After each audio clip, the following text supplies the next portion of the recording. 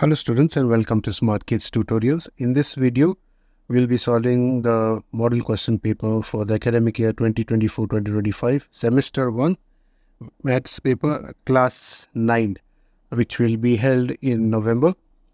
Uh, it's for 3 hours and uh, marks are 80. But quickly we'll go through the instructions first. Very important to read the instructions before you answer the paper. So first instruction it says this question paper consists of 55 questions. All questions are compulsory. So when you have this paper in hand, you should the first thing you should see is whether you've got 55 questions or not. If anything is missing, you should report it to the teacher that is supervising your examination. Second, the question paper is divided into four sections A, B, C and D. Look out for that. Accordingly, there are marks allocated for this each section. In section A, question numbers 1 to 40 are multiple choice questions carrying one mark each which are to be answered on an OMR sheet. The OMR sheet will shall be collected after 90 minutes. In section B, question numbers 41 to 47 are short answer type uh, questions carrying two marks each. So first one is OMR sheet will be given and uh, it's one and a half hour. After one and a half hour, you'll have to submit this paper. The next section B going to be a rule uh, pages. Uh, first one, section B has got two marks each. Section C, question numbers 48 to 53, it will be for three marks each. Section D, question numbers 54 to 55 will have four marks each. There is no overall choice. However, an internal choice has been provided in three questions of two marks each in section B and two questions of three marks each in section C. So it says overall there is no choice, but uh, within the questions there could be a choice. The three questions it's saying uh, of section B, which will have a choice between themselves, and two questions are in section C will have choice. In questions on constructions, the drawing should be clear and exactly as per given measurements. The construction lines and arcs should also be maintained. Very, very important. Sometimes we have a habit, once we draw, we erase certain lines and arcs thinking that it is not significant at all. So those are very, very important for the teacher that is correcting your paper to know that you have uh, followed the follow followed the proper procedure in order uh, to construct the given triangle or a circle, whatever um, construction is there. Graph page will be provided on request. Okay, so if you, uh, if you have a graph, uh, if you have a question which will be in linear equations, uh, there is uh, you have to draw a graph. Then you you can ask the teacher who is supervising. You you may be provided on request. Use of calculator is not possible. So you cannot take a calculator for the examination. So these are the list of uh, instructions that you need to follow and you need to remember while answering this particular paper. So let's begin with uh, section A, which is of one mark each. And remember, there are 40 questions each, uh, 40 questions of one mark each. And this you will have to answer on an OMR sheet. Now, in OMR sheet, we will have like four circles or four squares and you may have to fill it with your pencil or your pen. The instructions will be provided uh, later on. Okay, but you'll have to fill those blocks base uh, with, I mean, depending on which uh, whichever choice you think is the correct one. Okay, like for example, yeah, the first one, there is a question and there are four choices, right? And then on the OMR sheet also you will have this A, B, C, and D. That's all. Okay and you will have to, if there is a circle next to A, you'll have to fill that circle if you feel that is the correct choice. Uh, your teacher will uh, explain to you how to fill up the OMR sheet in the class. So I will not stress much on that and just focus on solving the questions. Okay. So remember, this is just a model paper. Uh, you are supposed to uh, pattern your study based on this model paper. So a similar question will uh, similar uh, paper will come in similar with similar question. Does not mean the same questions will come. You the paper could either be difficult or it could be easier or it depends. Whether it is difficult or easy depends on from one student to another. Okay? So let's just begin this paper. So first question is the number a upon b where a and b are integers is not a rational number if b is one of these. So important question, uh, important thing for a rational number uh, with respect to the denominator, the b is a denominator and that is in question, is that it should be, it can it should be a non-zero integer. So that means it can't be zero because once it is zero, then it becomes not defined. It can be minus one, it can be one, and it can be ten also, but it can't be zero. Then in that case, it does not become a rational number because the first definition that you see come across of rational number in your textbooks will be that it is a, a non-zero integer where p upon q where q is not equal to 0. So this is your q actually. This should not be equal to 0. This is not a rational number if b is 0. Okay, so the correct choice would be B. The first one we'll put over here is your answer B is your correct because B should not be equal to 0. Okay. So that is the answer. So if so if B is 0, then it is not a rational number. So that is a, here we are asked it is not a rational number if B is one of one of the choice. So that is 0. Second question. Turn this.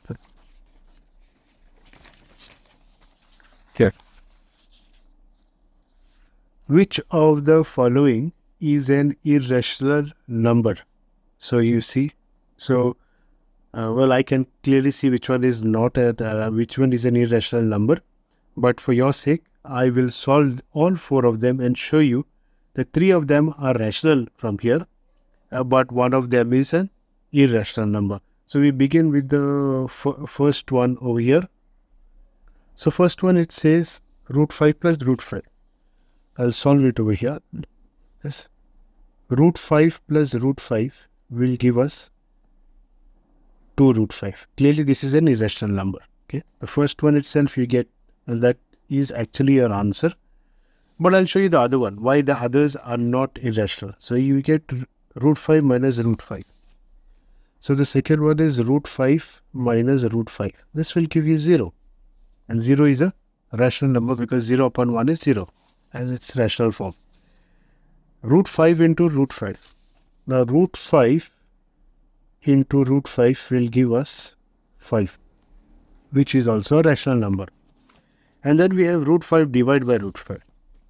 So root 5 divided by root 5. They will cancel out each other and give us a rational number which is 1. So clearly E is our correct choice. Let's go to the third question and see what it is. The rational number which has a terminating decimal ex expansion is which one? So, you know, when we have uh, came across this rational numbers and this de terminating decimal ex expansions, we are told that anything with uh, multiples of 2 and 5 will give us uh, a terminating decimal expansion. Anything apart from that will not give us a terminating decimal. So clearly we can rule out 11 we can rule out 7 and we can also rule out 3. That leaves us with 9 upon 8. That is our correct choice. So I'll write it down. as C 9 upon 8 and then I'll show you why it is like that. So 9 upon 8 can be written as 2 into 2 into 2. Okay. So 2 4 uh, 2 2s are 4, 4 2s are 8. Same thing as this.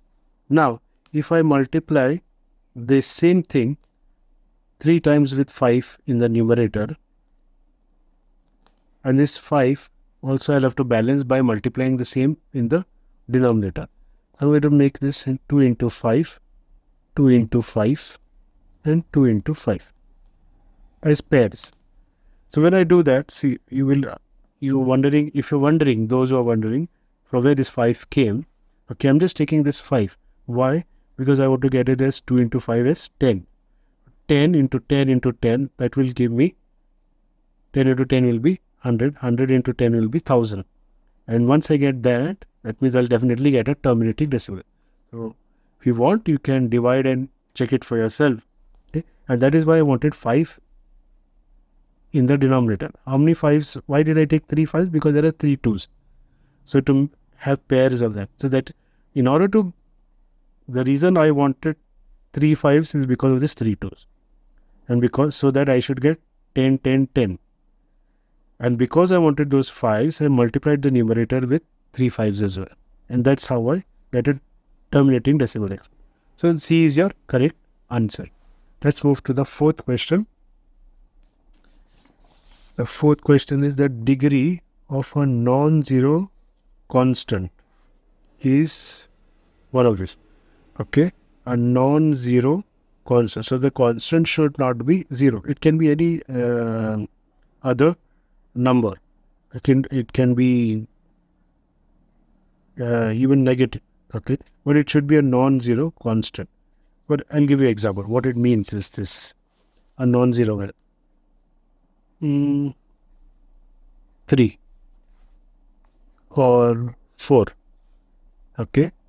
Now, if you, I'll give you a better example so that you can understand. Let's say we take uh, 2x plus 3. Okay. Now, this x has a power and that is 1. x raised to 1 is x. Here also there is a power of x but there is no x you may say. Well, I can still write this as 3x raised to 0. Okay, so now you can see an x, but it is raised to 0. Remember, anything raised to 0 is 1. So in other words, 3 into x raised to 0 is 3 into 1, which is 3. We can write this as 2x plus 3. And this is what they're calling as non-zero constant. So in, in that case, the power should be or the degree should be what? 0. Now, when it comes to the degree of a polynomial, it looks as the highest power. So, here the highest power is 1 because 2x raised to 1 is there. In case of just 3, here, now the highest power is what? 0. So, that is why the degree of a non-zero constant, this can be regarded as a non-zero constant. Polynomial is 0. A is our correct choice. Fifth question. The 0 of the polynomial 5 upon 3x is one of these. So when it comes to 0 of a polynomial, so you can take, so if you take px is equal to 5 upon 3x, okay, is your polynomial in x. And if we take the polynomial is becoming 0, that means 5 upon 3 x equal to 0. Okay, that is a. Now, if you take the 5 upon 3 on the other side, denominator will go and multiply on top and become numerator and numerator will multiply down and become denominator. So, it will become something like this x equal to 0 into 3 upon 5. But 0 into anything is 0. So, that means x is equal to 0. So, that means poly, uh, polynomial the 0 of this polynomial is 0. So C is our correct choice. I'll write over here C and we'll move to the sixth question. Okay, let's look have a look. What is the sixth question? It says the equation of the x-axis is given by one of this. So the equation of the x-axis is given by y equal to 0 okay? So this you should check out. It is y equal to 0 and so the correct answer is B. Okay? See when you have your x-axis and y-axis here this is your y-axis this is your x-axis so equation of x-axis okay? So on x-axis y is what? On anything on x-axis y is what has to be 0. If the point is here, okay, on this line, that means y is 0 because y is here. If it is here somewhere, then you have a y and you have an x, okay? But when it is on the x-axis, then y becomes equal to 0. So that is why it, the correct answer is B, y equal to 0. Next is the seventh question. A graph of linear equation in two variables is not a circle, not a semicircle, not a curve but a straight line. This you should know. So this is a straight line. That means our correct choice is D. And usually the straight line is given as y equal to mx plus c. Or in simple uh, format, it is you can write it also this way 3x plus 3y equal to 6. It's the equation of a straight line. Next question, question number 8. If 3 comma minus 2 lies on the graph of 5x plus ky equal to 11, then the value of k is what? Simple, you just it, this is x comma y. That means in place of x, you will put 3 and in place of y, you will put minus 2 over here and then you'll get the value of k. So we'll do that. Write the equation first. That is um, 5x plus ky equal to 11. Okay, and since we have got the point s3 comma minus 2, I'll put it over there. So in place of x, I'm going to put 3 and in place of y, I'm going to put minus 2 equal to 11. 5 into 3 is 15 minus 2 into k is, sorry, minus 2k equal to 11 and I'm going to take minus 2 or k on that side, bring 11 on this side. So signs will change 15 minus 11 equal to 2k. This will become 2k equal to 4 cancels and we get k equal to 2. So that is our answer which means C is the correct choice. Ninth question, the relationship between sine theta, cos theta and tan theta is one of these. So the relationship between sine theta, cos theta and tan theta is this sine theta upon cos theta is equal to tan theta. Okay, sine theta upon cos theta is equal to tan theta. Let's look what is our choices. First one is sine theta plus cos theta is equal to tan theta. No. Sine theta minus cos theta equal to tan theta. No. Sine theta into cos theta equal to tan theta. No. Sine theta divided by cos theta equal to tan theta. That's what we got. Sine theta divided by cos theta equal to tan theta. Which means D is our correct choice. Coming to the 10th question, the value of tan square 30 is what? Now, what is tan 30? That is important. tan 30 degrees is 1 upon root 3. Now, if you square this, that means this also will get squared and we will get 1 upon 3 as the answer. So, tan square 30 degrees is equal to 1 upon 3. Let's look which choice B is our correct choice. So we'll write over here B. Okay. So at this point, I would like to remind you, for those who do not have this model papers for 9th standard, I will be putting up this model paper on um, our WhatsApp channel. I will be providing a link to a website also. You can probably download the paper from there as well. So if you go to the WhatsApp channel, that the link will be there in the description box below as well as the website link. You can download uh, the paper uh, from there in the PDF format or in the uh, JPEG format and uh, try solving this on your own. Also, please do subscribe to the channel and like this video because it motivates me to do more uh, videos like this for you in the future. Okay, so let's move on to the next set of questions. Question 11 in triangle ABC, if angle A equal to 4x degrees, angle B equal to 24 degrees, and angle C equal to 36 degrees, then the value of x is one of these. So we are given in the triangle, we are given the three angles of a triangle. So we know that sum of all uh, three angles of a triangle is equal to 180 degrees. So that's the property that we are going to take. So in triangle ABC, we can say that angle A plus angle B plus angle C is equal to 180 degrees. Okay, so sum of all angles of a triangle and that is equal to 180 degrees. Angle A is given to us as 4x degree. Angle B is given as 24 degrees. Angle C is given as 36 degrees equal to 180 degrees. Now 4x degrees and 24 plus 36 that comes to 60 degrees equal to 180 degrees. So when I take 60 on the other side, it will become negative and 180 minus 60 will give us 120 degrees. This we can then divide 4 ones are 4, 4 threes are 12, 0. So x is equal to 30 degrees is our answer. From our options, A is the correct options. That's what we're going to write, A over here. Next, question number 12. The complement of an angle 5, uh, sorry, 58 plus A degree is what? Okay, complement means this angle plus another angle should be equal to 90 degrees.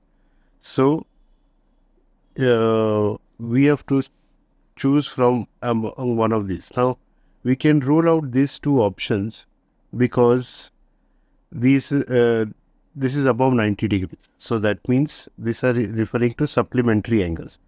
So we are asked for complement of an angle. So either 32 plus A or 32 minus A, okay, when we add it to this particular angle should give us equal to 90 degrees. So we'll find out what is uh, the angle. So uh, let's try the first one and see. So as I said, ang angle A plus angle B should be equal to 90 degree. That is complementary angles. Okay. So we are given one angle. Let's say the first angle in place of A is 58 plus A degrees. Okay. And let's say the second angle. We, we are left with only two options. This one A or C. We'll try the A, whether it is uh, A that is 32 plus A degrees. If this comes equal to 90 degrees, that means the choice A is the correct option. We'll see. So we get 58 plus A plus 32 plus A. If we add this to 58 and 32, that will give us 90. Okay, 90 degrees. Plus it will give us 2a degree. So this is not 90 degree. This is something more because we don't know the value of a. A could be something more.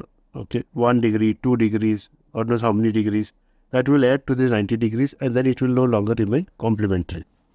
Let's try the next option. That is, it's got to be this option. 32 minus a. So 58 plus a degree which is given to us plus I told you this angle plus the another the like other angle which is in our option should give us 90 degrees 32 minus a will 32 minus a degree so that means 58 degrees plus a degree plus 32 degree minus a degree 58 plus 32 once again will give us 90 degrees uh, plus a and minus a becomes 0. Uh, that means what remains behind is just 90 degrees. That means 32 am 32 minus 8 degree is the correct option. So C is our correct option. Let's write C and we go to question number 13. Question number 13 says if angle RTM is an exterior angle of triangle RST where angle R is equal to 70 degrees and angle S is equal to 25 degrees, then the measure of RTM is one of the choices that are given. So first we'll draw the triangle to have an idea what is this question talking about. RST. So RST, this is a triangle, okay. Angle R it says is 70 degrees then angle S it says is 25 degrees and then it's talking about RTM. So there would be, it would be something like this. Okay. And this would be M. Okay. And what it wants is this. Now, RTM is exterior angle. Okay. Now it's asking for the, now as per the exterior angle theorem, it says this plus this should be equal to this. So angle R plus angle S should be equal to angle RTM. So angle R is what? 70 degrees. Angle S is 25 degrees. That should be equal to angle RTM. So angle RTM, when you add this 2, it will come to 95 degrees. And so our correct option would be C. 14 question in the figure, this figure, if P is the midpoint of AB, angle CAP is equal to angle DBP, then the congruence rule by which tri triangle APC is congruent to triangle BPD is what? Okay. Now put down these two triangles. So triangle, it's asking about, so we'll say it's asking about triangle APC and triangle BPD. Now what is given to us is angle CAP is equal to angle DBP. That is given to us. Okay. These two angles are given to us. Then what else is told to us? It says P is the midpoint of AB. P is the midpoint of AB. That means AP is equal to PB. AP is equal to BP since P is midpoint of AB. What else? If you look at this figure, APC is vertically opposite to DBP. That means they are vertically opposite angle. That means this angle should be equal to this angle. So we can write that angle APC is equal to angle uh, this is uh, BPD. Okay, so equal to angle BPD. We say vertically opposite angles.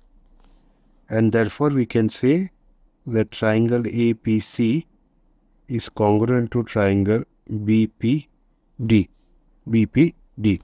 How? We've got an angle, we've got a side, and we've got an angle. Okay. So you have a look over here. So we've got um, angle, side, angle. So ASA would be the correct corrector. So B is our correct corrector. So by ASA, that means B is our correct option. 15th question. If the largest side of a triangle is 12 centimeter, then the other two sides can be one of these. Okay. So the la largest side of a triangle is 20, 12 centimeters it says and the options over here are given. 15th question, if the largest side of the triangle is 12 centimeter, then the other two sides can be the choices. Now, uh, the trick over here is to know about triangle, a little bit about triangle. The triangle, what it says, this the sum of any two sides should always be greater than the third side. Any two side. Now that may uh, include the two shorter side. Now this is the largest side. Even the largest side of a triangle should be the less than the sum of the other two sides. So if this is 12, then the other two sides which we will add up, the sum of them should be greater than 12 centimeters. So let us see whose which option gives us more than 12 centimeter. So the first option is 7.6 and 3.4. So if we add up 7.6 and 3.4, we will get this is 10, carry 1, 7 plus 3, 10 and 11. So we rule out option A. What about B? Let us see. B is 6.4 and 2.8. 6.4 and 2.8. When we add them, let's see what is. 8 plus 4 is 12, carry 1. 6 plus 2 is 8, 8 plus 1 is 9. So we rule B out as well. Option C, 4.2 and 7.8. 4.2 and 7.8. We add them up. 8 plus 2 is 10, carry 1, 0 here, point. 7 plus 4 is 11, 11 plus 1 is 12 this is exactly uh, the equal to the uh, third side, the largest side. but it should not be equal. It should be greater than that. So we rule this one as well. Let's see D, what it is. 4.8 and 8.2.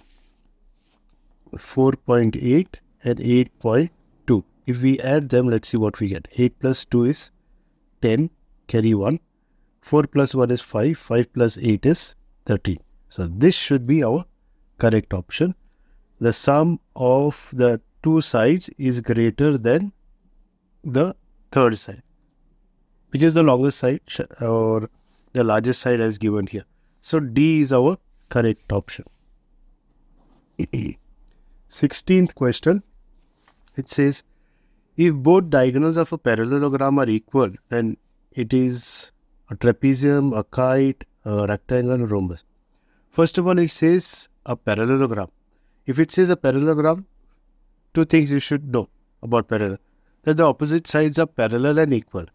Trapezium, we don't have opposite sides parallel and equal. One pair of opposite sides is parallel and another pair of opposite sides is equal. So, uh, this is, uh, we rule out trapezium. In parallelogram, both uh, two pairs of opposite sides are parallel and equal. Kite, no, because in kite also we don't uh, have um, the opposite sides, um, you can say, are not equal. So we rule it out. So we are left with rectangle and rhombus. But in rhombus, we know that the diagonals of a rhombus are not necessarily equal. Okay. So we rule rhombus out. That means it's rectangle because in rectangle, the diagonals are equal. So C is our correct option. 17th question. The value of the polynomial p of y equal to 2y cube plus y square minus y at y minus 1 y equal to minus 1 is one of these. So we'll write down the polynomial first that is p of y equal to 2y cube plus y square minus 1. Now it says add y equal to minus. That means in place of y, I'm going to put minus 1. So 2 in place of y, input minus 1 cube plus minus 1 square minus 5. Let's see what we get. Minus 1 cube is minus 1 itself. 2 into minus 1 is minus 2. Minus 1 whole square is plus 1. So plus 1 minus 5. So minus 2 plus 1 gives us minus 1, minus 1 and minus 5 gives us minus 6. Let's see our options. So we have minus 6 in our option. So B is our correct choice. Write it down as B over here. Question 18. A solution of the equation 2x minus y equal to 5 is one of these. So the um, thing to note is when which whatever values are given over here, in place of x when we substitute and in place of y when we substitute in the left hand side of this equation, the value that we get should be equal to the right hand side, which is 5 in this case. So let us try out each one of them and uh, see which one gives us equal to 5. That is the, our correct choice. So this is the 18th question. Write down the equation first 2x minus y equal to 5 and we'll try out the left hand side for each case. So first one is a which is 2 comma 1. So in place of x I'll put 2 and in place of y I'll put 1. 2 2s are 4, 4 minus 1 which will give me uh, 3. But this 3 is not equal to the right hand side. So we rule out option A. Uh, option B is uh, 4 comma minus 3. So once again left hand side and 4 comma minus 3 I'll write over here. So in place of x we put 4 and in place of uh, y we put uh, minus 3. So this will become 2 into 4 is 8 minus and mi into minus gives us plus so that gives us 11 which is also not equal to right hand side. So we rule out the option B as well. Then let's try option C. Option C is uh, x equal to 4. So left hand side once again. No. Sorry, sorry. I showed you the wrong option. It is uh, 1 comma minus 3. So 1 comma minus 3. So in place of x, I'll put 1 and in place of uh, y, I'll put minus 3. So 2 into 1 is 2, minus into minus is plus, plus 3, which is equal to 5. And this is equal to RHS. So C is our correct option. And because we've already got one option that it matches, uh, we need not check out uh, for option D. Okay. Question 19. The equation of a line parallel to x-axis and 4 units above the origin is one of these. Now, we have a look what it means to say is we, we have this x and y axis over here. So this is your y axis and this is your x axis. Four units uh, above the origin. So this is your origin. Four units above the origin means towards the top. Now it says it is parallel to x axis. That means it is like this. Okay. Which means that your y axis will have some value and 4 units above that means this is in the positive quadrant of y. So that should be y equal to 4 as the answer. And so we'll write over here y equal to 4. And so the positive answer, uh, sorry, the correct answer should be Z. So D is our correct option. Going to question 20. The value of sine 26 degree minus cos 64 degrees is what? This is complementary angle. So sine 26 degrees minus cos 64 degrees. So we can write sine of 26 degrees as sine of 90 degrees minus 64 degrees. Because 90 minus 64 gives us 26 degrees. And we'll leave this cos 64 the way it is. Sine of this can be written as cos of 64. Cos of 64 is complementary here. Okay, so cos of 64 minus cos of 64 degrees and that gives us 0 as our answer. Let's look at the option. So we have 0 in our options. E is the correct option. Okay. So with that, uh, we finished 20 questions of the MCQ. So that means we are halfway through the MCQ and which we, which means we finished 20 marks. Okay. Once again, uh, please do subscribe to the video. The more you subscribe, the more motivation I get to make such videos for you. And do share this video with your friends as well as classmates because you should be aware of what type of paper you are going to get for your board exam. Okay. So let us uh, continue further from here. Question 21. The zero of the polynomial 3x plus 7 is this. So to find out the zero of any polynomial, so if say polynomial p of x is equal to 3x plus 7 and we say polynomial of that particular uh, in that particular variable is 0, that means that 3x plus 7 is equal to 0. So you take 7 on the other side, it will become 3x equal to minus 7. Then 3 is into x, so you take 3 on the other side, get divided. So x equal to minus 7 upon 3. Uh, this is your answer or the zero of this particular polynomial, which means that when you put this fraction in place of x, this polynomial will become 0. So, minus 7 upon 3 means E is the correct choice. Put E over here. Here the question number 22. Next question, question 22. The simplified form of uh, minus 1 upon 27 whole thing raised to minus 2 upon 3 is one let's write it down we'll solve that.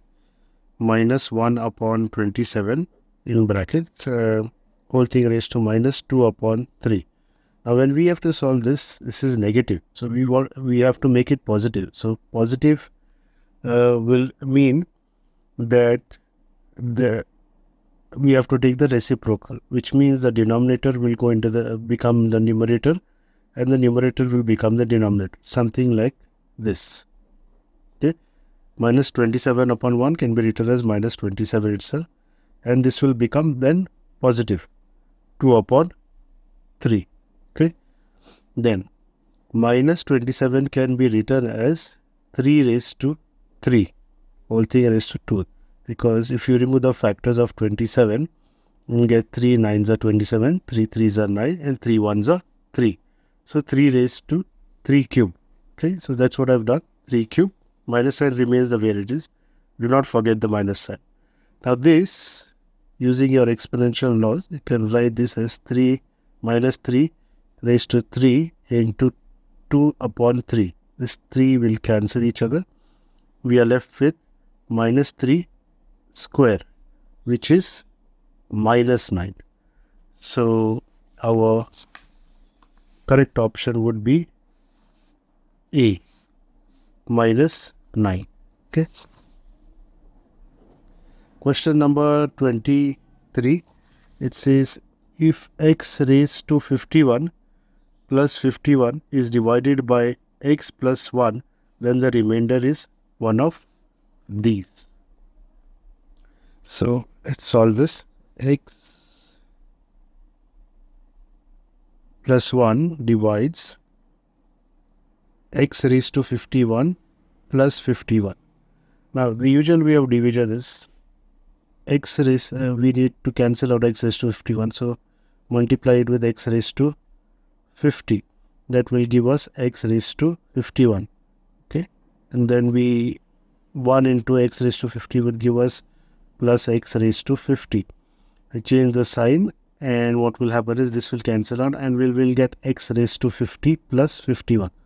Now this is a long division but if you apply logic over here, common sense, then what you see over here is if you continue this way, what you will, you will end up with a division, which will be your divisor will be something x plus 1, which will remain the same. But your dividend would become the final dividend would be x plus 51. And then you put 1 as your quotient and you'll be x into 1 would be x, 1 into 1 would be plus 1 change the sign throughout. This will cancel. 51 minus 1 would give you 50 as the remainder. And you are asked for the remainder, not for the quotient. So, uh, understand something over here. You don't have to do the entire division. You just have need to have that understanding. x plus 1 when you divide with x raised to 51 plus 51, you will get x raised to 50. Begin with that. And then your next uh, dividend would be x raised to 50 plus 51. If you continue going like this, you will always get an x variable with a one power less. Finally, you will come down to the point where you will be left with just x and 51. When that happens, you divide it with 1, when your quotient will be 1, okay, x into 1 will be giving you x and 1 into 1 will give you 1. That is the only time when we will be able to uh, solve for 51 over here. So 1 into 1, otherwise it will always be 1 into some variable. So here there is a constant. 1 into 1, we can definitely minus this. 51 minus 1 will give you 50. And then your division stops. It can't go any further than that because there's no more variable left.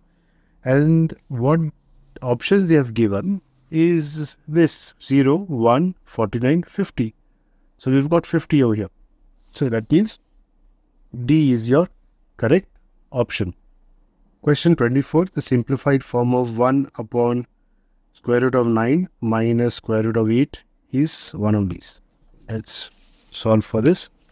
We have 1 upon square root of 9 minus square root of 8. Now square root of 9 is uh, 3. So you can straightaway write this. You can say 1 upon 3 minus 8. Then what we need to sorry, 3 minus square root of 8. Uh, what we can do next is rationalize the denominator. So that we do 3 plus square root of 8 upon 3 plus square root of 8 with the sign being changed from minus to plus. Then we multiply and we will get the numerator will be 3 plus square root of 8 will take upon 3 whole square minus square root of 8 whole square. So we then we get 3 plus square root of 8 whole thing upon 3 minus 8. Sorry, 9 minus 8 because it is 3 square. 9 minus 8. This will become 3 plus square root of 8 upon 1 which is just 3 plus square root. Now here you do not have 3 plus square root of 8 but you have something like 2 root 2 in three places. That means the answer should come in 2 root 2. The square root of 8, we can write it as 3 plus 2 root 2. How 2 root 2? The square root of 8 can be written as square root of 4 into 2. Square root of 4 is 2. What it remains behind is square root of 2. So that's why this is 2 root 2 or 2 root 8, 2 root 2. So 3 plus 2 root 2 is our answer. Let's look which correct option. Uh, D is the correct option. 3 plus 2 root 2. Question number 25. Have a look. It says if A upon B plus B upon A is equal to minus 9, where A comma B is not equal to 0, that means both A and B are not equal to 0, then the value of A cube minus B cube is one of these. Okay, so let's solve this one. So here we are asked for the value of A cube minus B cube. Now A cube minus B cube is an identity. Well, let's write down what is that identity. So A cube minus B cube is equal to A minus B into A square plus B square plus AB. You can also write A square plus AB plus B square. This is your um, identity. Okay. Um, now we write this as 1 and we will go to solve what is given. given A upon B plus B upon A is equal to minus 1. We will write that A upon B plus b upon a equal to minus 1 and solve this. When we remove the LCM, we get a square cross multiply a square plus b square whole thing upon ab equal to minus 1. We take ab on the other side, it will multiply with the minus 1 and we'll get a square plus b square equal to minus ab. So minus ab I will bring on the left hand side and so minus AB will become positive AB. So A square plus B square plus AB equal to 0. Okay, that is what we get away. Now, mark this as 2. Uh, if you notice over here, we've also got A square plus B square plus AB. Okay, over here. But we've got the value of A square plus B square plus AB equal to 0. So, let's say substituting 2 in 1 we get. So the value of this is 0 and that I'm going to substitute in place on this. So right a cube minus b cube equal to a minus b okay into 0 the whole thing becomes 0 anything this a minus b into 0 gives us 0 anything into 0 is 0 that means a cube minus b cube is equal to 0 that is the answer. Uh, let's look at the options. So D is our correct option. Next question. If x minus 2 is a factor of x square plus 3ax minus 2a, then the value of a is one of these. So when it says that it is a factor, that means when you put that value in the polynomial, it becomes 0. So if we say p of x is equal to x square plus 3ax minus 2a. Okay, this is your polynomial. And we take your uh, x minus 2 is a factor itself. That means x minus 2 equal to 0, x will become equal to 2. Uh, p equal to 2, okay, and that is equal to 0. When we put this value in this polynomial, the polynomial becomes 0 but uh, what uh, what is the polynomial we'll put over here? The value of 2 wherever there is x we'll substitute with 2 so 2 whole square plus 3 into a into 2 minus 2a equal to 0 2 square is 4 plus 3 into 2 is 6 6a minus 2a equal to 0 okay? 6 minus so i'll take uh, 4 on the other side and 6a minus 2a gives us 4a and when I take 4 on the right hand side it will become minus 4 4 and 4 divide and we are left with a equal to minus 1 let's look at the options. So b is our correct choice minus 1 Question 27. If x plus 1 is a factor of ax raised to 4 plus bx cube plus cx square plus dx plus e, then answer in this. So, same thing uh, do. So, x plus 1 equal to 0, take, and then we'll get x equal to minus 1. Now, this minus 1 we put in place of uh, the variable that is x in this polynomial. So, p of x equal to we write ax raised to 4 then plus bx cube plus cx square plus bx plus e. And then we take p of minus 1 equal to 0 which means where a minus 1 whole square plus b minus 1 cube sorry this is raised to 4 not full square. Then plus c minus 1 whole square plus d into minus 1 plus e. Okay. Then equal to 0. Sorry. Minus 1 raised to uh, 4 is positive 1. So this will become a. Minus 1 raised to cube will remain minus 1. So minus 1 into b gives us minus b. Minus 1 whole square become positive 1. Positive 1 into c gives us positive C. Minus 1 into D gives us minus D plus E equal to 0. Now, whatever is minus, we'll take it on the right hand side and we are left with A plus C plus E equal to B plus D. And we have that option here A plus C plus E. A plus C plus E plus equal to B plus D. So that means E is our correct option. Question 28. If x equal to 2 and y equal to minus 1 is the solution of the equation 2x plus 3y equal to k, then the value of k is. So in place of x, you substitute 2. In place of y, substitute minus 1. And we'll get the value of k. So we write 2x plus 3y equal to k. And remember x is equal to 2, y is equal to minus 1. 2 into 2 plus 3 into minus 1 equal to k which is 4 minus 3 equal to k. 4 minus 3 is 1. So that means k is equal to 1. So our correct option is A which is 1. Question number 29. Question number 29 says the present age of A is 3 years more than the thrice the present age of B. If the present ages of A and B are x and y, years respectively, then the algebraic equation representing the given situation is one of these. Okay.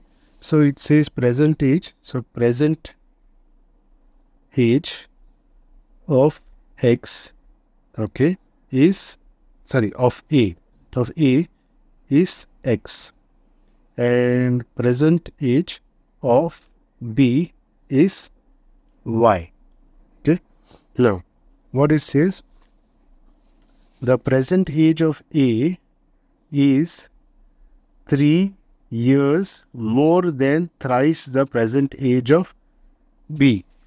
So the present age of A okay is 3 times 3 years more sorry 3 years more that means plus 3 years more than thrice the present age of B. That is what it means in terms of A and B. But in terms of x and y, what does it mean? A is x, then B is y. Okay, so we end up getting x. If we bring 3y on the left hand side, it become minus. We get x minus 3y equal to 3. So x minus 3y. Do we have x minus 3y? Okay. No, we don't have x minus 3y, but we have minus 3. So just rotate this around. So we minus 3y, I'll take it rather cancel this. I'll keep 3y where it is and I'll bring my uh, 3 on the left hand side. So I'll get x minus 3 equal to 3y. Okay, so instead of bringing 3y on the left hand side, we don't have 3y on the left hand side, negative 1.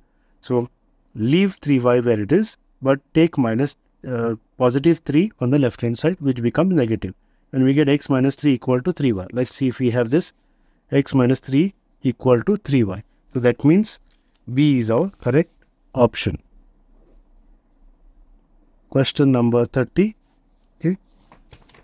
Question number 30 says in the given figure line segments CD and AB intersect at O angle ACO equal to 80 degrees angle BDO equal to 70 degrees and angle COE equal to 40 degrees then the value of x and y x plus y is one of these now in both the cases we can use the external angle theorem. See this plus this is equal to this. So we'll get x. Okay.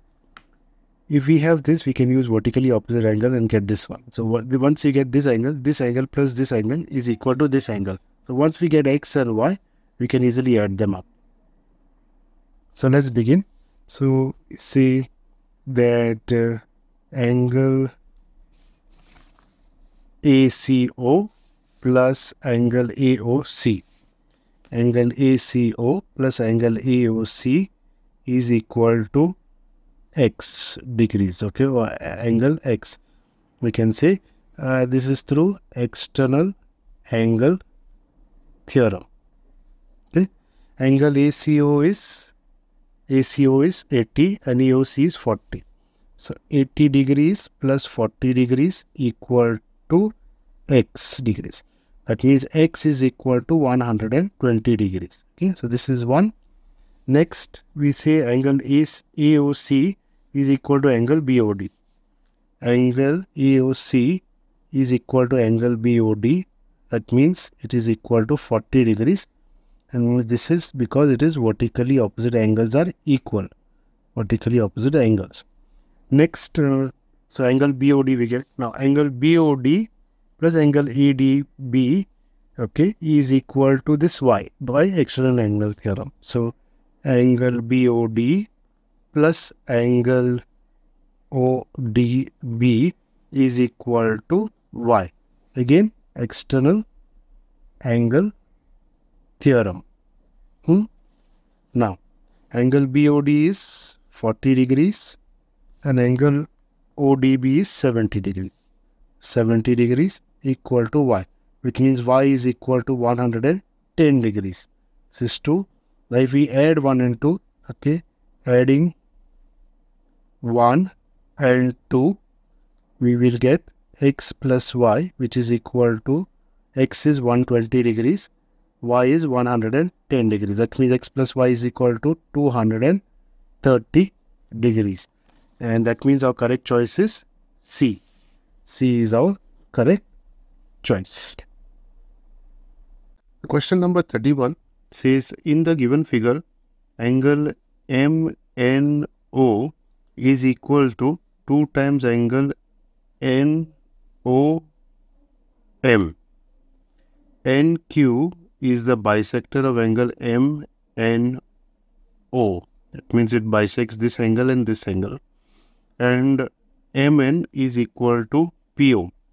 Therefore, uh, triangle MNQ is congruent to one of these triangles. Now, if we have a closer look at the triangles that are given to us, you'll notice this angle, uh, triangle QQPO and then triangle POQ and then, then triangle uh, O uh, OQP.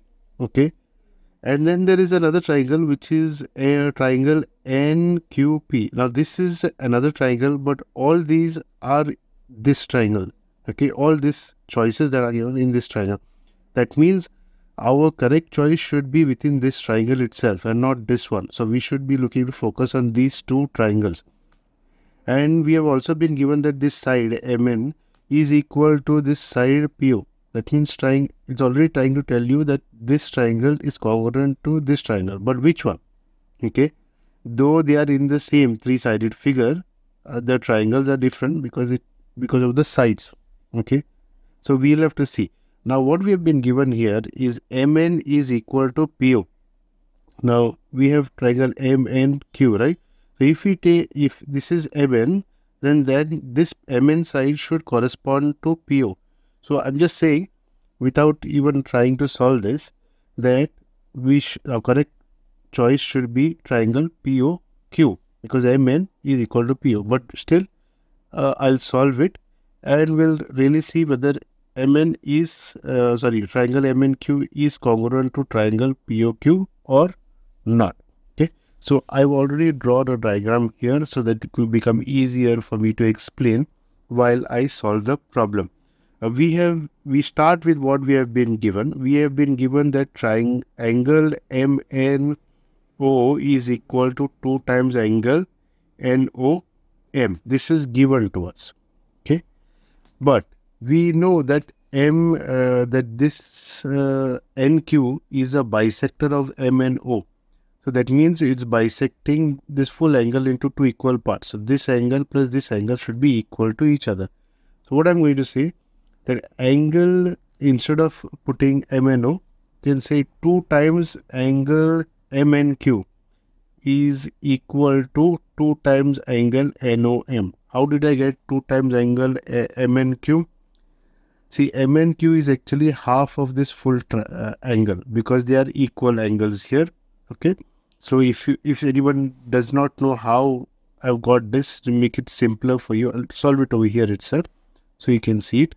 See, angle MNO can be written as angle MNQ plus angle QNP. Okay, QNP. Fine, agree? This full angle can be written as this plus this, full angle.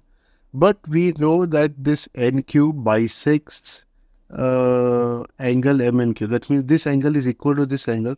And that's why we what we can do is angle MNO can be written as MNQ, sorry, MNQ. And instead of Q and P, we'll write m and q again because they are equal to each other because it is getting bisected.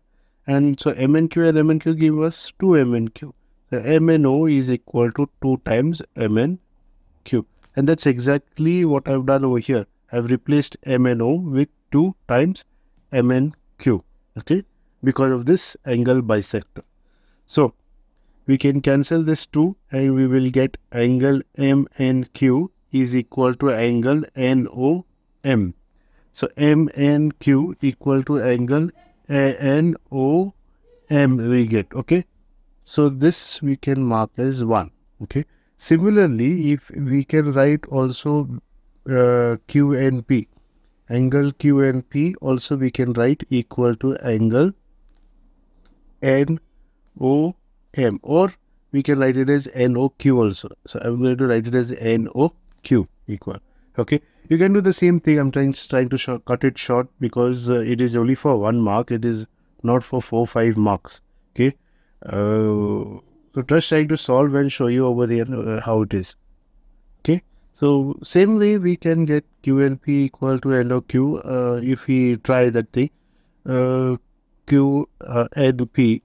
I'll do it at the side okay? Just in case if you're confused how i got that. So q and p uh, sorry, from here I'll take. We know that angle MNO equal to angle MNQ plus QNP, right? Now here what we did was we replace in this step we replace QNP with MNQ because they are equal to each other. But instead of this step, I can write angle MNO as equal to angle QNP plus angle QNP. That will become 2 times angle QNP. So that's how Now you will wonder that should have been angle NOM, not NOQ. NOM or NOQ is the same because when we look at an angle, we look at the letter in between this. Okay, these are the arms of that particular angle. So this is the angle we are focusing on. Why did I take NOQ? You will learn soon. Why did I take NOQ and not NOM? I'll mark this as 2. Okay. Now, look at this uh, two angles okay um, that we have got over here. These two. Okay. What we've got in this Q and P is this angle. And NOQ is this angle. In which triangle? Q and P. We'll say in triangle, uh, sorry, not Q and P, Q and O. Q and O, this big triangle, this big triangle. In this two big triangle, we've got this angle is equal to this angle from here. Q and P equal to angle NOQ. Okay, that is the reason I was taking. Now, because these two angles are equal, we can say that the opposite sides are also equal. Okay, we can say uh, that uh, therefore uh, NQ or QN is equal to uh, OQ. Okay, opposite sides are equal. Okay, opposite sides of a triangle. Because opposite angles are equal so the sides opposite to those angles are also equal. So nq is equal to oq mark this as 3 okay? Now we look to prove these two triangles are congruent. I'm going to take in triangle mnq and triangle poq and uh, we have got what mnq we've got angle mnq as equal to angle uh, MNQ equal to POQ we can say. POQ from where? From here. Because this angle is equal. We've uh, got MNQ is equal to NOM okay? So from 1 we can say is the same angle and uh, we have got uh, this uh, NQ is equal to OQ from 3. Hmm? From 3 we've got that equal. Plus we have been given at the start, um, we were told over here that uh, NM is equal to PQ. So that's what I'm going to write over here. That uh, NM is equal to PO, sorry, not PQ, PO. So I'm going to write over here that uh, Mn equal to PO. So we what we have got is these two triangles. We've got a side, we've got uh, an angle, and then we've got a side. So you can say therefore triangle MNQ is congruent to triangle POQ by SAS congruence rule. And that's how it is. So it is POQ is a correct choice. So that means our correct option was uh, B. B is our correct option in this. Okay. Let's go to question number uh, 32. Uh, it says the value of sine square 70 degrees plus the sine square 20 degrees minus 2 cos square uh, 90 degrees is one of these. So uh, let's uh, have a look. So uh, I'll just write it down first. So question number 32. It says sine square 70 degrees plus sine square 20 degrees minus 2 cos square 90 degrees. Now cos of 90 is what? Cos of 90 is 0. Okay. So we write that uh, equal to this. And what I'll do is this sine square uh, 70, I, uh, I'll keep it like that only, sine square 70 degrees. But the sine square 20 degrees, I can write as sine square of 90 degrees minus 70 degree complement and minus 2 into 0 whole square which will become 0 of course. Then this we can write as sine square 70 degrees plus sine of uh, 90 degrees minus 70 degree we can write as cos square 70 degrees complementary uh, cos square 70 degrees and this will be of course 0 so I don't have to write this. This is sine square theta plus cos square theta since the angles are the same, we can use the identity and so this will become 1. Okay. So the correct option over here will be D. We'll write D over here and move on to the question number 33. Question number 33 if sine 2a equal to cos of a minus 45 degrees where 2a is an acute angle then the value of a will be one of these. So let me write this. So sine 2a equal to cos of a minus 45 degrees. So this uh, we can write sine 2a can be written as uh, cos of 90 degrees minus 2a equal to cos of a minus 45 degree. Get rid of this and we are left with 90 degrees minus 2a equal to a minus 45 degrees. So 45 degrees I will bring this side minus 2 I'll take it that side. So both will change sign and both will become positive. So we will get 2a plus a equal to 90 degrees plus 45 degrees which means we get 3a equal to 135 degrees. This can be cancelled. 3 4s are 12, carry 1, 3 5s are 15. That means A is equal to 45 degrees, which means our correct option is C. C is our correct option. Question 34. ABC is a right triangle, right angled at B. If AB is equal to 10 centimeters and angle C is equal to 30 degrees, then the uh, length side BC is one of these choices. So if we have a triangle drawn like this, and it is saying it is right angled at B, so B should be here. We'll put A here and we'll put C here. This is right angle. And it says AB is equal to 10 centimeters. So this height is 10 centimeters. And the angle that is made is 30 degrees. Okay, 10 centimeters. So we are asked for side um, BC in this case. And but we are given, uh, are we given something over here? So this is what we given. So uh, since we need BC, we have been given AB. We can use a trigonometric ratio that involves these two sides, and that would be tan. So tan uh, angle is given, so we'll use tan 30. Okay. Why tan 30? Remember, I'm taking tan uh, tan because AB is given and we need BC.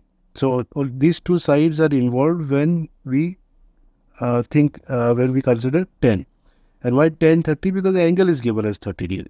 So tan of 30 degrees can be written as AB upon BC. So AB, that is opposite side upon adjacent side.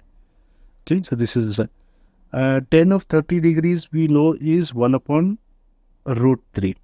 Okay, and uh, AB is given as 10, BC is what we need to find out. So this will cross multiply and we'll get BC equal to 10 root 3 uh, centimeter. Let's just see. Yeah. So B is our correct choice. Move on to question 35. Question 35 says if one angle of a triangle is equal to the sum of the other two angles, then the triangle is uh, one of these. Now it says one angle of a triangle is equal to the sum of the other two angles. Then the angle is say. So uh, the angle which we are considering, the if the total angle should be uh, 180 degrees of a triangle. Okay. If we take a triangle, let's take this triangle itself. So if we if we take any two tri uh, triangles, okay, uh, sorry, if we take a triangle then the sum of this angle, this angle and this angle has to be uh, 180 degrees. Do not consider this as 90 degrees or 30 degrees. I'm just using this triangle to explain this question. So this angle plus this angle plus this should be 180 degrees. Now it says one angle is equal to the sum of the other two angles. So in that case, that that particular angle can't be acute. Okay, that one angle can't be acute. Acute means less than 90 degrees. Can it be more than um, uh, 90, uh, 90 degrees. okay. So it can be an obtuse angle also because uh, if we uh, see, uh, let's see if this angle was 100, uh, 91 degrees. Okay, let's see 91 degrees. That means uh, the other two, you have to also understand that the other two angles should be such that when we add them, it should become 180 degree. So that will not happen, okay? Because the other two will become, if this is 91 degrees, one angle, okay, let's say A, then the other two angles of B plus C will become 89 degrees, okay?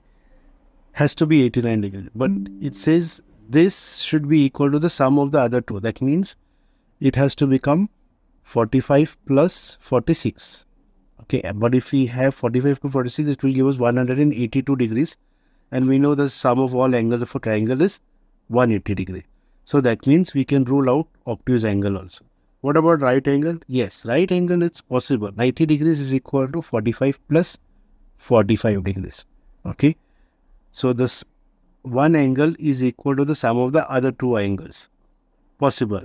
What about uh, 60 degrees? No, it's not uh, uh, possible. 60 degrees, that means total what will remain is 120 de uh, degrees. So that means it has to be 60 plus 60. This is not equal to this. So not equal. This is equal. This is also.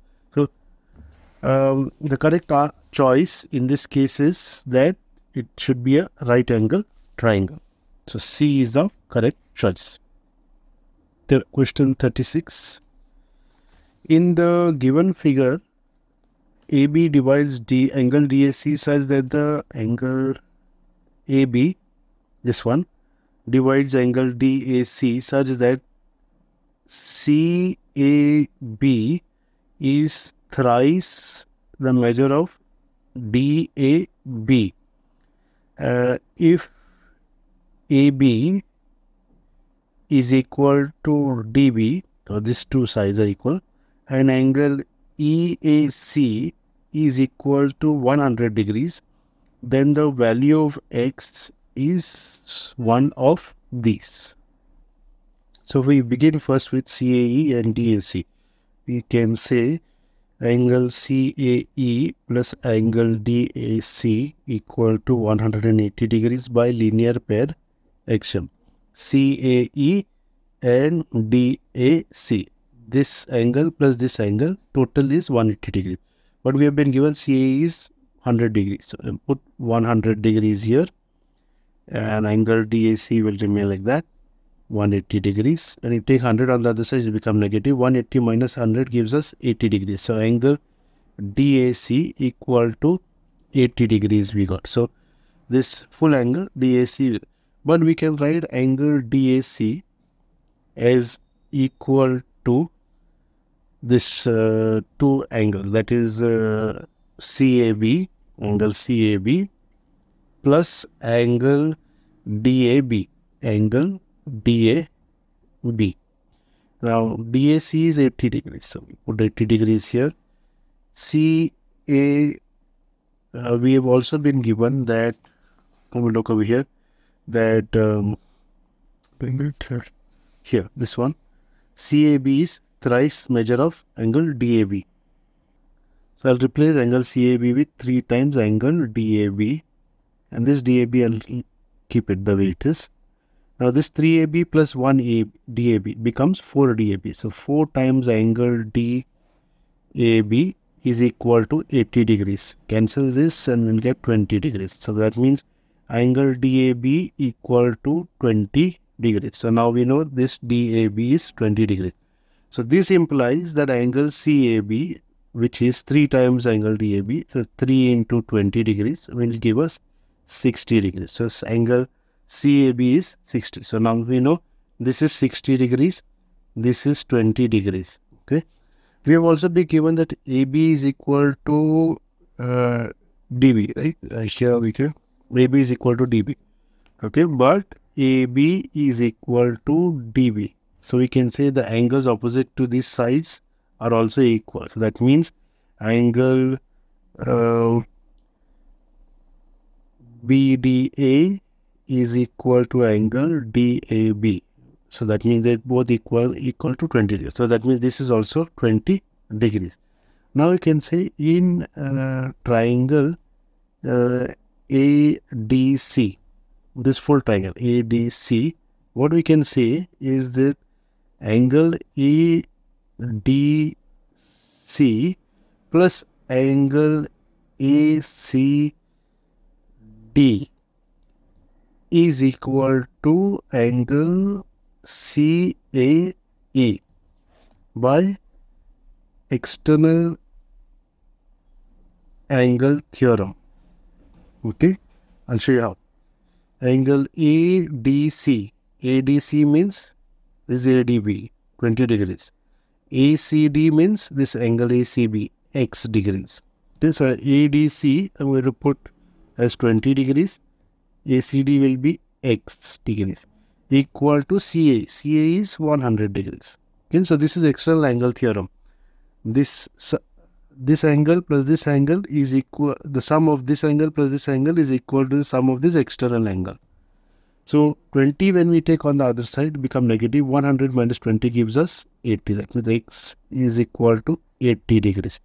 So it is a correct answer and so correct choice or option is C. And this is C. Question 37 in the given figure xy is parallel to PQ in angle AEF equal to 80 degrees and BXQ equal to 120 degrees, then the value of K is one of these. So let's write down first thing. So we'll start first with okay. these two angles. So we have been given BXQ equal to 180. So BXQ plus angle BXG okay bxg equal to 180 degrees. How? By linear pair axiom. So linear pair axiom applies for this angle plus this angle. Bxq is 120 degrees. So 120 degrees plus bxg which we need to find out equal to 180 degrees. We take 120 on the other side become negative. 180 minus 120 gives us 60 degrees. So bxg is equal to 60 degrees. It mark this as 1 then we have been given as this angle is 80 degrees, right? But we have been given that these two are parallel lines. So this angle should be equal to this angle because these are corresponding angles over here. So we can say angle, um, let's say AEF, AEF equal to angle EGX, EGX equal to 80 degrees. Why? Because they are corresponding angles. Okay. I'll mark this as, uh, no, mark this anything. EGX. So, um, EGX and we'll take uh, BGX. These are linear pair. So, angle EGX plus angle BGX. BGX equal to 180 degrees in linear axiom. EGX we've got as 80 degrees. Angle BGX equal and equal to 180 degrees. When we take 80 degrees on the other side, it becomes negative. 180 degrees minus 80 degrees gives us 100 degrees. So BGX is equal to 100 degrees and this is 2. So now we have got this angle, this angle in this entire triangle. And now it is easier to find this. So we say in triangle BGX, okay, this particular triangle BGX, we can say that uh, angle BGX plus angle, uh, we can say BXG, BXG, okay, is plus angle GBX, GBX equal to 180 degrees because sum of all angles of triangle is it should be equal to 180 degrees. Now BGX we have got as 100 degrees. Then BXG, BXG we got as 60 degrees. Put 60 degrees here. GBX is your k, sorry, k it is, not x, k, which we need to find out, okay, and uh, equal to 180 degrees. So 100 plus 60 gives us 160. 160 when we take on the other side, it will become negative. 180 minus 160 gives us 20 degrees. So k is equal to 20 degrees. Is the answer. So let us look at our choices. So that will be A will be the correct option and mark this as A. Next we come to question number 38 and it says if the angles of a quadrilateral taken in order are in the ratio 3 is to 7 is to 6 is to 4 then the quadrilateral is a one of these. Okay, so we don't know what that quadrilateral is. we'll draw a four-sided figure. Okay. And uh, let's see, we'll give it uh, a name, say A, then uh, will give it A, B, C, and D. Okay. Uh, so A will be 3x, B will be 7x, C will be 6x, and D will be 4x. Okay. Since it is given the ratio, we take as 3x, 7x, 6x, 4x. So 3x plus, uh, 7x plus 4x plus 6x all should be equal to 360 degrees. Sum of all angles of a quadrilateral is 360. We add 3 plus 7 is 10 and 6 plus 4 is also 10. So 10 plus 10 gives us 20. So we get 20x equal to 360 degrees. Okay, so this 0 0 cancels and then 2 into 18 gives us 36. So that means x is equal to 18 degrees. Now to find out each angles, 3x means 3 into 18 degrees that gives us 54 degrees. That would be our A. Then um, 7 into x that would be 7 into 18 that would give us 126 degree that would be B. So this is uh, 54 degrees. This is 126 degrees.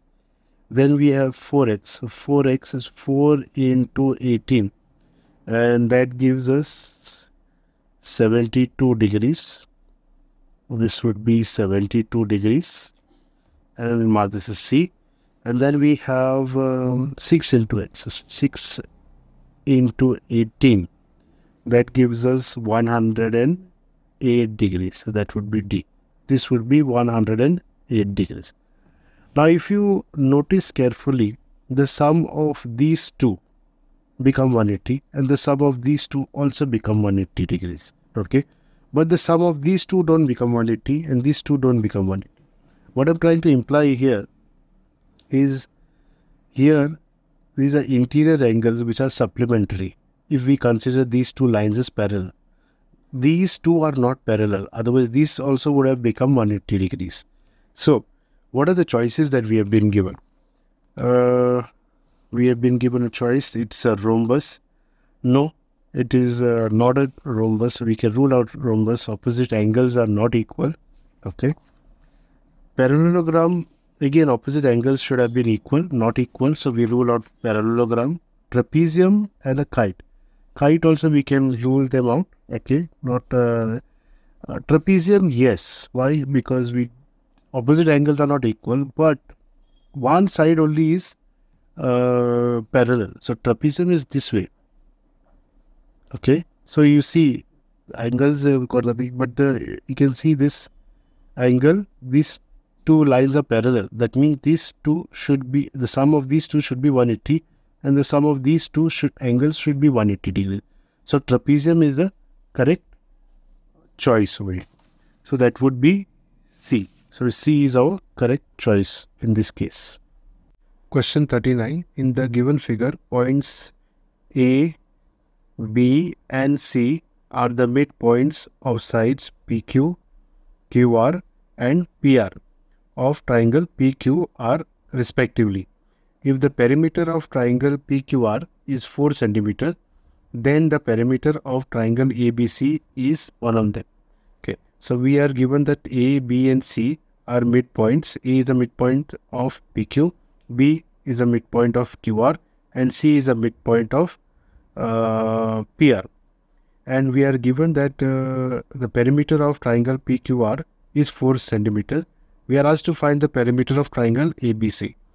Now, when we say perimeter, that means it's the length of the side. So PQ plus QR plus PR is equal to 4 centimeters.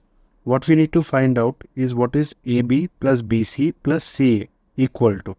That will be one of the choices that are given over here. What we need to work with is the fact that we have been given that this point is a midpoint of this, this is a midpoint of this, and this is a midpoint of this. And when it comes to midpoints, we know that when we have two points, that uh, when we have a line that is joining two midpoints of a triangle, that is uh, then the, that line is parallel to the third side of the triangle. So AC should be parallel to QR. Also, that this line should be half of this line. So AC should be half of QR. Same thing if we take for this triangle. Uh, I mean, uh, this line over here and look at this triangle. So in that case, uh, we would say, have a look at this triangle this way wherein this is uh, these are our uh, two midpoints uh, this um, B and A. Then in that case we have this triangle same triangle but now in this case we have this line we, which will become half of this line and also this line will be parallel to this line. Then again if we rotate this triangle further then what do we have? Then we have this particular line that is B and C making BC and this line will be half of this line that is PQ and BC will also be parallel to PQ. So all round if we rotate we get the same thing. I'll show you. I've drawn a figure over here. So uh, the theorem is that if we have uh, a line that is joining the midpoints of two sides of a triangle, then that line is half of the third uh, line of the triangle and also parallel to that particular line. So as per the theorem, we should get, uh, uh, we are interested only in the half part, not the parallel part. So we can say in case of this one that AC is half of QR. We can also say, so this is 1. We can say this is 1. Uh, we can say then if we rotate the triangle, then we'll get here AB. AB we can say is half. So AB, the uh, triangle will be this way. And so this will be the line, is half of PR. And we'll call, mark that as second. Then we come to the third one, that is BC. So BC is here, so this will be the line. So BC we can say is half of PQ. Uh, and this will mark as third. Okay. Now we can take this uh, now we uh, what we have been told we have been told that pq plus qr plus pr is equal to 4 centimeter. This is what we given the perimeter. Okay. Now pq we have established a relationship between pq and bc bc is half of pq that means pq is 2 times bc so 2 times BC plus same thing applies here 2 times AC plus 2 times AB. We can say is equal to 4 and this will be from 1, 2 and 3. Hmm? Now we can take 2 common over here. So if we take 2 common what we are left with is inside the bracket we are left with BC plus AC plus AB equal to 4 and this we can divide and we'll be left with 2 over here. And so we get over here as AB plus BC plus AC equal to 2 centimeters. And that's what we know that is the perimeter of this triangle ABC therefore the triangle of the uh, uh, of the uh, uh, perimeter of the triangle of ABC is 2 centimeters. So the correct option is B 2 centimeters. Mark that over here. Question 40, last uh, question of section A of the MCQ section.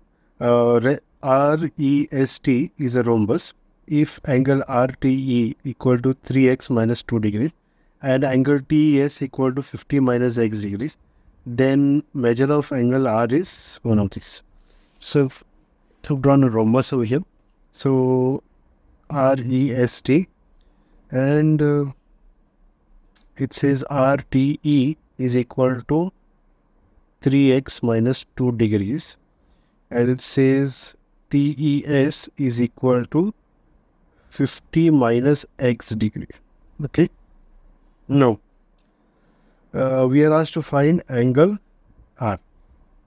Now, this is a rhombus. That means opposite sides are parallel to each other. becomes a parallelogram. So if this is a parallelogram, these two are lines are parallel, this becomes a transversal. That means and this particular angle that is given RTE should be equal to TES. So we'll write just that. Question number 40. Angle RTE is equal to angle TES and this is because it's alternate interior angle theorem. Uh, RT is given as 3x minus 2 degrees and TS is given as 50 minus x degree. Okay, so we'll uh, take uh, we'll make sure that x is on one side and the other numbers on the other side. So we get uh, 3x. So when I take minus x on the other side, left hand side, it becomes positive. And when minus 2 is taken on the right hand side, it becomes positive. So 50 plus 2, I will get this will be sorry 3x minus plus x. Then minus x comes here. So 3x plus x will give us 4x. 50 plus 2 is 52. So we'll divide and we'll get x is equal to 13. Okay, so this 13. So x is equal to 13. So that uh, now what we need to do next is put let's find out what is angle RT. So angle RT is 3x minus 2. So in place of x we'll put 13 and let's see what 3 into 13 is 39 minus 2 and that comes to 37 degrees. Now we can say that angle RTE is equal to angle ETS. Angle ETS. Why? Because diagonals of a rhombus bisect the angle. So this angle should this particular angle should be equal to this angle. So the angle bisectors. So okay, angle bisectors. Okay, so that means angle ETS is also equal to 37 degrees because RT is equal to 37 degrees. So angle RTS, the full angle, angle RTS we can say is equal to angle RTE plus angle ETS. So this angle plus this angle, okay? And that means it is 37 degrees plus 37 degrees which is comes to 74 degrees. Now because we said in this case that this is a parallelogram and we said that uh, this line is parallel to this line. So that means in that case this particular angle plus this particular angle okay should be equal to 180 degrees so interior angles are supplementary so we can say angle R plus angle RTS is equal to 180 degrees. Okay, because interior angles are supplementary. Now, right over here, interior angles are supplementary.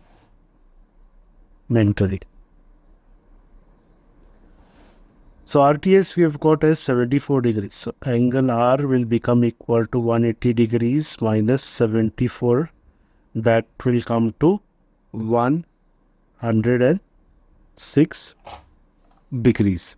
Okay? So if this is one angle r is equal to 106 degrees that means our correct choice is option is d. So d is our correct option so with this we complete uh, section a which was of 40 marks all mcq questions one mark each Okay. so at this point, uh, would like to ask you to subscribe to the channel if you haven't subscribed so far. Uh, please share this video with as many friends and classmates who are going to appear for class 9 examination. It will help them also. And if you like watching the video, do not forget to hit the like button as well. Let's move on to section B. Coming to section B, two marks each. Represent root 2 on the number line. That is question number 41. Let's draw root 2. Now, uh, depends from one school to another. Root 2 and root 3 representing on the number line has been shown uh, with the protractor and some have learned to do with the compass. So, uh, in this video, I am going to construct uh, root 2 using the compass only, not with the help of the protractor. Okay, so let's begin.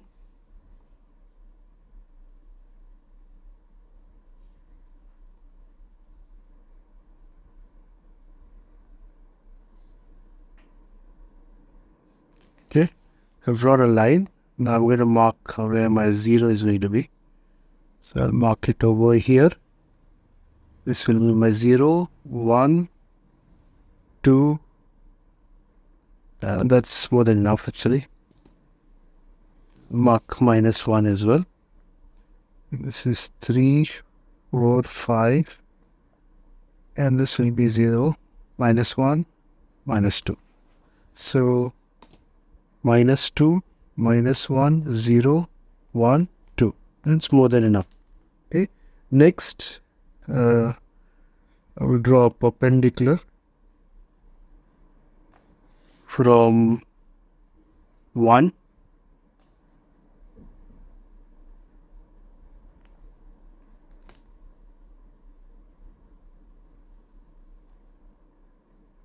okay with the same measurement keeping the pointer over here.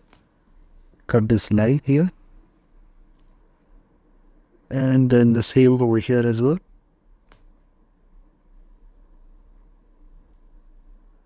then keeping with the same measurement wherever the arc intersects this big semicircle. Get that. And draw another arc. And then there itself with the other intersection. Draw another one. Now at the point of intersection we'll draw a line. That will become our 90 degrees. So that's 90 degrees well now we continue further. So we cut one centimeter. So from here to here was already one centimeter. So we're going to take the measurement from here to here. And then on this line I'll cut one centimeter. That's it. And mark the point. And from this point I will join 0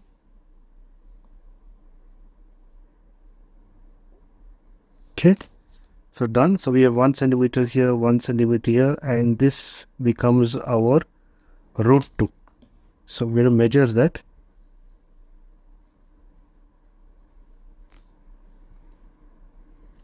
Great.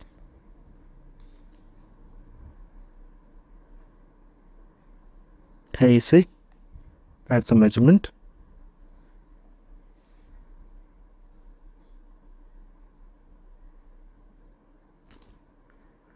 Then I'm going to keep the pointer here on 0 and cut an arc on this number line. That becomes our root 2. So you can mark this as root 2. So that's how you construct root 2 on the number line. Okay, that's it. This is for two marks. Question number 42 is a choice between these two.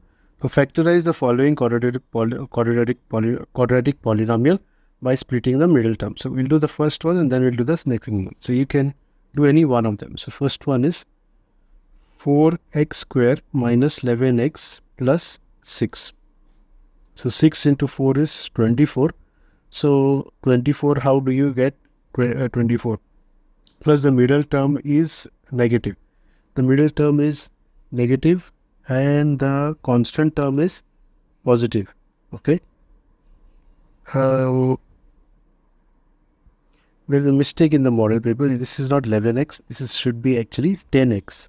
So we split 6 for the 24. That means you can either get it by 6 into 4 or you can get it 12 into 2 or even 24 into 1. But uh, we'll rule this out because it's minus 10. This we'll have to rule out because it will have to be minus 2 plus. But the thing is the constant term is positive, which means both the middle terms have got to be negative. So that leaves us with these two. That means 4x square equal to 4x square minus 4x minus 6x plus 6. So we take 4x common here. We are left with x minus 1. Here we'll take minus sign common and 6 also common. So we're left with x and the sign will change in between x minus 1. Take out what is common. So that is x minus 1 is common and we are left with 4x minus 6. So that's what we are asked to find out. find the factors. So the factors are x minus 1 into 4x minus 6. Now for the second option. The second option says 5x square plus 12x minus 9. So that means 9 into 5 is 45. 9 into 5 we get 45. And which other way we'll get 45? 15 into 3. Or we will get uh, 45 into 1. Uh, we can rule this out because 12. Okay. Now the middle term is positive, uh, constant term is negative. That means 1 has to be the sign of the bigger number has got to be positive and the smaller number will be negative. So we it has to be this because minus 15 plus 12 will sorry minus 15 plus 3 will give us minus 12. So 5x square equal to sign 5x square minus 15x plus 3x minus 9. We take 5x common here. If we take do that, we are left with x minus 3 plus we'll take 3 common here. And we're left with x minus 3 here as well. So we write x minus 3 into 5x plus 3. So these are the factors x minus 3 into 5x plus 3. So that solves question number 42. Coming to question 43, factorize using suitable identity 27a cube minus 64b cube. So this is into a cube minus b cube formula identity. So uh, I'll first write down the identity for those of you who do not know the identity. So a cube minus b cube can be written as a minus b into a square plus b square plus ab. You can also write it as a square plus ab plus b square. Comes to the same. Now we have been given 27a cube minus 60, 64b cube. So this I can write it in this format as uh, 3a whole cube minus 4 4b whole cube. So a cube minus b cube. So 3 cube is 27 and 4 cube is 64. Now to write it, uh, now we'll expand this identity into this form and we will get 3a minus 4b and we'll get 3a whole square plus 4b whole square plus 3a into 4b. Close the bracket. Let's expand this further. 3a minus 4b and 3a whole square is can be written as 9a square. 4b whole square can be written as 16b square. And then 3 into 4 is 12 plus 12ab. This is the answer. So 3a minus 4b into 9a square plus 16b square plus 12ab. Let's move to the next one. To question number 44, there is a choice. First one is expand using uh, suitable identity 3x plus 5y plus 8z whole square. So this is an identity. Let's write down the identity first. So the identity is x plus y plus z whole square. We can write this as x square plus y square plus z square plus 2 times x plus 2 times y plus 2 times z. This is the identity. So let's um, find out or solve the identity that uh, problem that is given to us. 3x plus 5y plus 8z whole square. Let's expand this. So 3x whole square plus 5y whole square plus 8z whole square plus 2 times into 3x plus 2 times into 5y plus 2 times into 8z and we get 9x square plus 25y square plus 64z square plus 6x plus 10y plus 16z. This is the answer. So since there are two choices, we'll put this as A and B would be 103 whole cube. So this we can get it into the A plus B cube format. So what is A plus B? The whole cube identity. This is A cube plus B cube plus 3a square b plus 3ab square. So we have been given 103 whole cube. This can be written in, brought in this format so as like this 300 plus 3 whole cube. Now we'll use the identity to open this up. 100 whole cube plus 3 whole cube plus 3 times into 100. So 3a square b. This is your a, this is your b. Plus 3a b square. Okay. Now, let's open this up. So 100 whole cube. So since this cube, these zeros will repeat. The pair of the zeros will repeat three times. So that means we'll get six zeros. One, two, three, four, five, six. Six zeros.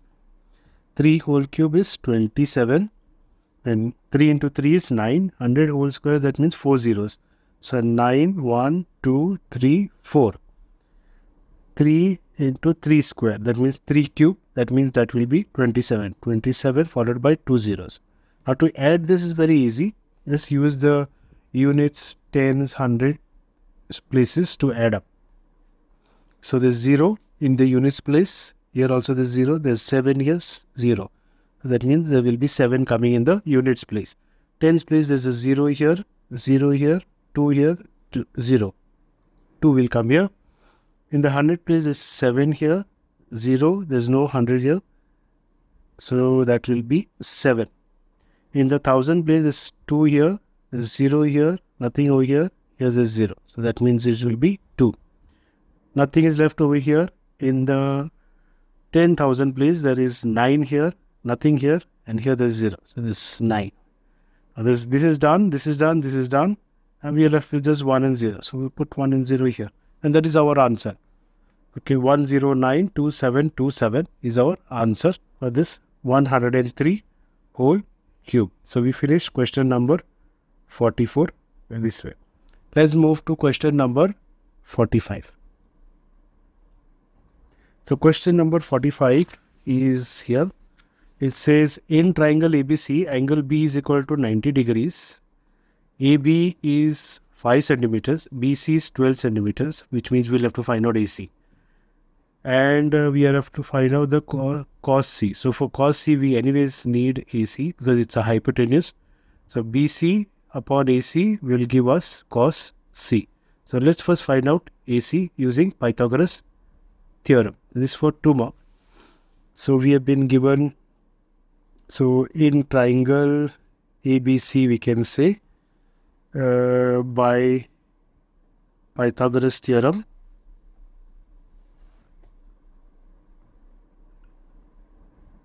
we can say that AC square is equal to AB square plus BC square. So AC square we don't know. So AC can be written as square root of AB square plus BC square.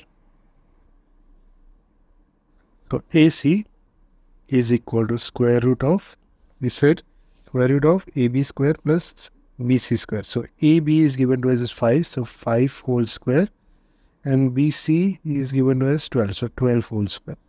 So AC is equal to square root of 5 whole square is 25 and 12 square is 144. So 144 plus 25 gives us 169. 169.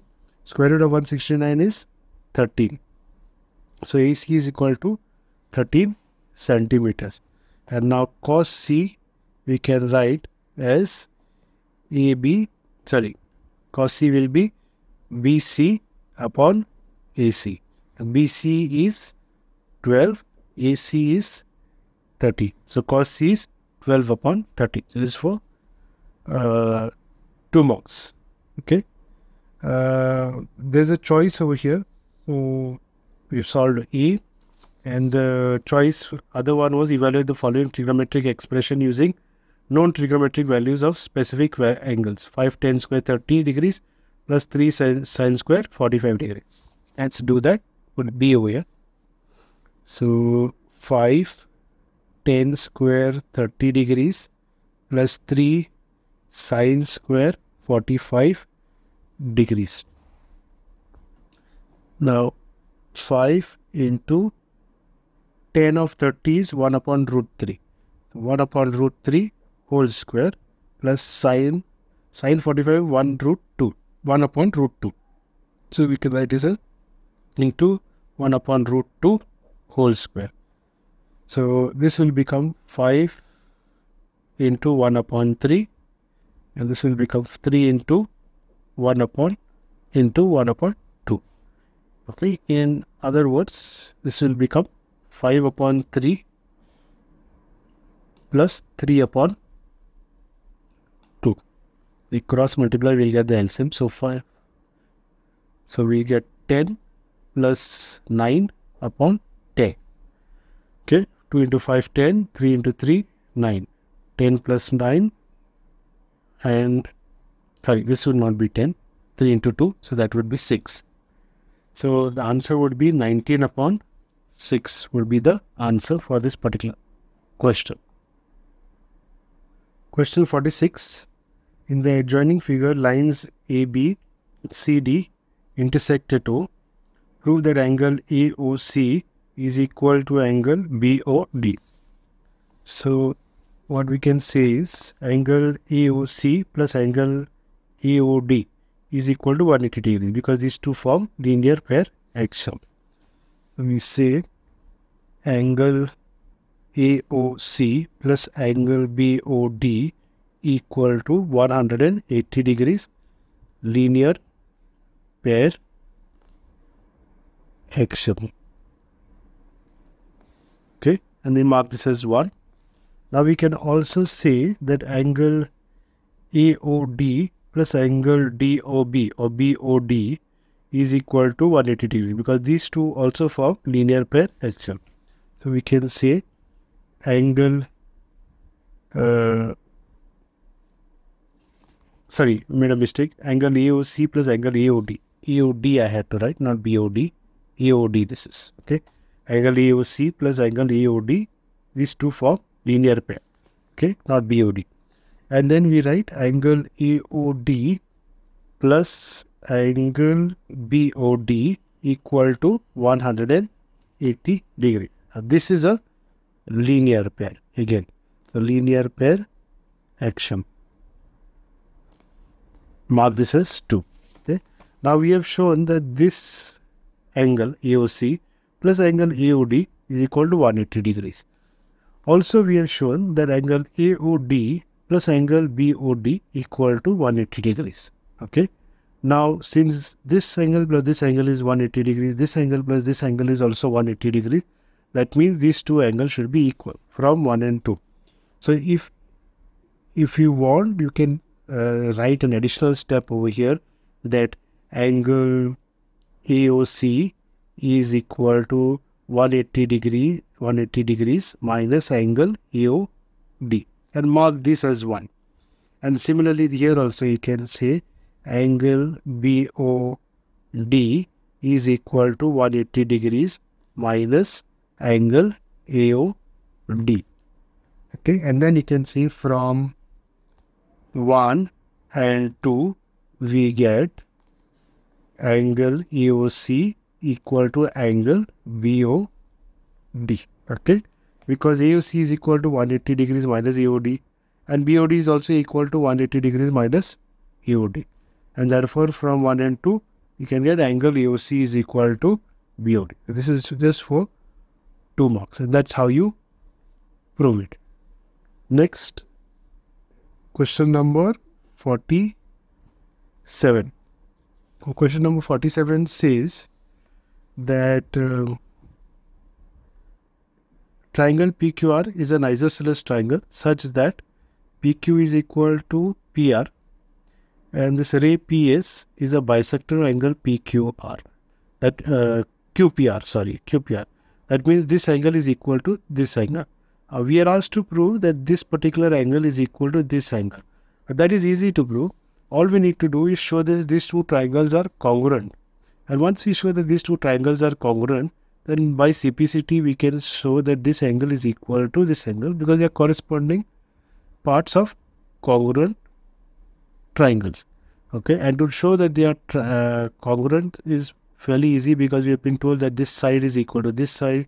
We've been told that this PS bisects this particular angle. That means this angle is equal to this angle. And we know that this particular side, PS, is common to both the triangle. So we can easily prove it showing SA, S that these two triangles are congruent. Let's do it now on paper. So we can say in triangle uh, QPS and triangle RPS. Okay. So QPS, RPS. Okay. We can say that uh, we have been given that PQ is equal to PR. And we can write this as given. Next, we can say that angle QPS is equal to angle RPS. Why? Because PS bisects angle QPR. This one. So QPS is equal to RPS, these two angles, because this PS bisects this full angle QPR. And we can say that PS is equal to PS, the common side to both the triangles, common side. This one. So we can say, therefore, triangle QPS is congruent to triangle RPS by SAS congruence rule. Okay. And we can say therefore angle Q is equal to angle R. Hence proved. That's how you prove. So with this we come to an end of section B which was for two marks each. Okay. Once again, uh, for those who you who are watching this video, would ask you to subscribe to the channel if you haven't subscribed please do share this video with your friends as well as your classmates. Uh, it will be very useful for them as well. And uh, do like the video if you have watched, if you have liked watching the video. Let's move on to section C. Starting with section C, which is for 3 marks each. Question number 48. Draw the graph of the following linear equation in two variables. We are given the equation 2x plus y equal to night. So we have to plot at least three points. Okay. So let's begin. So since we have to plot three points, we'll take three points. So let's say x equal to 0. So if we put it in 2x plus y equal to 9, let's see what we get. 2 into 0 plus y equal to 9. 2 into 0 is 0, which means we get y equal to 9. So we can say when it is x is 0, y will be 9. Then we'll take uh, x equal to 1 and see what we get. So 2x plus y equal to 9. In place of x, we put 1 plus y equal to 9. 2 into 1 is 2 plus y equal to 9. Take 2 on the other side, it will become 9 minus 2. So y will be equal to 7. So you, that means when x is 1, y is 7. Now we'll take x equal to 2 and see what we get. So 2x plus y equal to 9. 2 into 2 plus y equal to 9. 2 into 2 gives us 4 plus y equal to 9. When we take 4 on the other side, it will become 9 minus 4. 9 minus 4 is 5. So when x is 2, y becomes 5. So these are the three points that we are asked to plot on the graph. Now let's see what the graph is. So I've already plotted the graph and it looks something like this. So z, when x is 0, y is 9, so 0 comma 9. When x is 1, y is 7, so 1 comma 7. And when x is 2, y equal to 5, so 2 comma 5. Write the equation of the line do not forget to write the scale on x-axis, that is this 1 centimeter is equal to 1 unit. And on y-axis you see 1 centimeter is also equal to 1 unit. And this is how the graph looks full. Okay? So do not forget to mark the x-axis and the y-axis and also the origin. So this graph is for 3 marks next question question number 49 from section c in the given figure PQSR is a quadrilateral in which angle Q is equal to angle R. PS bisects angle QPR. Uh, we are asked to prove that these two triangles are congruent to each other. So which is fairly easy. We've done this before that uh, this line is common to these two triangles. We have been given PS bisects QPR which means these two angles are equal to each other and we are told that these two angles are also equal to each other. So that means angle, angle, side. By AAS congruence, we get these two triangles as congruent to each other. So let's put it down over here. We say in triangle uh, PQS and triangle PRS. Okay, we say that uh, angle Q is equal to angle R which is given. Then we are told that uh, PS bisects angle QPR so we will say angle QPS is equal to angle uh, QPS so that means RPS RPS why? Since PS bisects angle QPR and we can say that PS is equal to PS this is common side. Okay?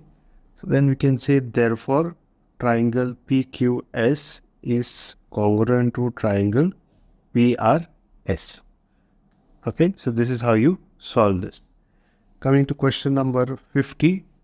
Question number 50 says given quadrilateral ABCD is a parallelogram and BD is a diagonal. Prove that AB is equal to CD and AD is equal to BC. This is question number 50. Okay. Yeah, question number 50 and there's there are two choices in fact. You can do either this one or you can do uh, this one. So we'll solve both of them. First we'll attempt this one. So the way to solve this thing is to just prove these two triangles are congruent to each other. Once we prove that these two triangles are congruent to each other by CPCT we can say that those sides opposite sides are equal to each other since they fall into two different triangles so let's first begin by proving these two triangles are equal to, I mean, congruent to each other. We'll start with ABD and CDB. Okay. Let's start with this and let 50 A. So this is the first choice. We say in triangle B, uh, we say ABD, sorry. ABD and triangle CDB, we say that angle ABD is equal to angle CDB. How? By alternate interior interior angles theorem. How does it become alternate interior angles? See, because we are told that this Quadrilateral is a parallelogram. That means opposite sides are parallel to each other. If AB is parallel to DC, that means this DB becomes a transversal. And so, alternate angle A, angle ABD will become equal to angle CDB. So, this angle becomes equal to this angle. So, we can also give write down further that uh, since can say ABCD is a parallelogram okay therefore AB is parallel to DC and so forth. Okay. So we get that. Okay. So one of them. Next we can say that uh, BD is equal to DB common side. BD is equal to DB say common side. And we can say angle ADB is equal to angle CBD. Again, by alternate angles theorem. Okay. And again, same thing you can do is ABCD is a parallelogram. Okay. Is a parallelogram. Okay. And in this case, uh, see here we are. We are taking ADB. ADB as E a now if we twist it this way i'll just turn it around it becomes easier. We are saying ad is parallel to ad is parallel to bc so in this case our alternate interior angle will be in this z fashion. So adb this angle equal to this angle. So that means cba or dbc okay so this particular angle equal to this particular angle okay so in that case, we that's what we say alternate interior angle. So therefore, we can say triangle ABD is congruent to triangle CDB. How? There's angle, the side, and there is angle. So by ASA congruence rule. Okay. Done.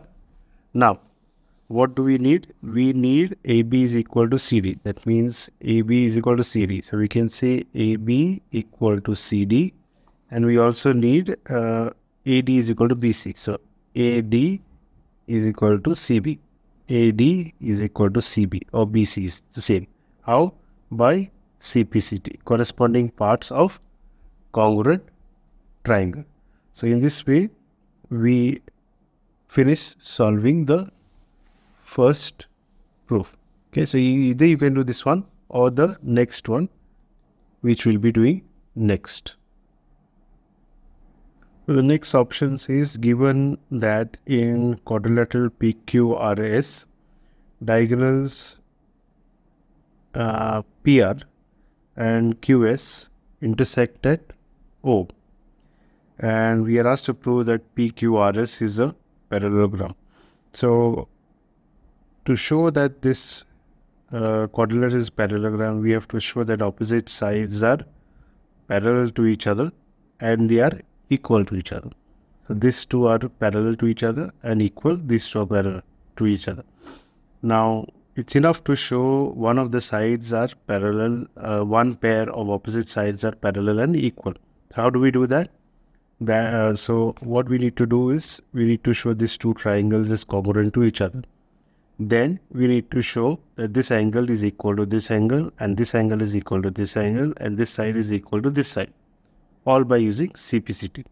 Once we do that by converse of the alternate angle theorem we can say that uh, uh, opposite sides are parallel and similarly we can say that this also will become parallel to each other.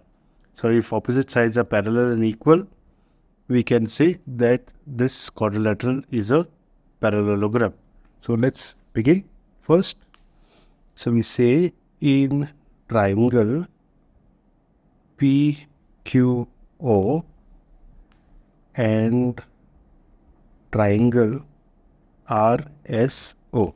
Which triangles have we assumed? PQO, RSO. So see how, pay attention to how I've taken the triangle in the same fashion in which way we will get our alternate interior angles. Alternate interior angles always in the Z fashion. So, so that they should come corresponding to each other. I've taken PQO and RSO. Hmm? Well, let's begin further. You can say PO is equal to RO. And this is given to us then we can say that angle POQ is equal to angle ROS and you can say this is vertically opposite angles. Which one? POQ and ROS so these two angles are vertically opposite to each other and we can say that QO is equal to SO which is given. It was mentioned over here.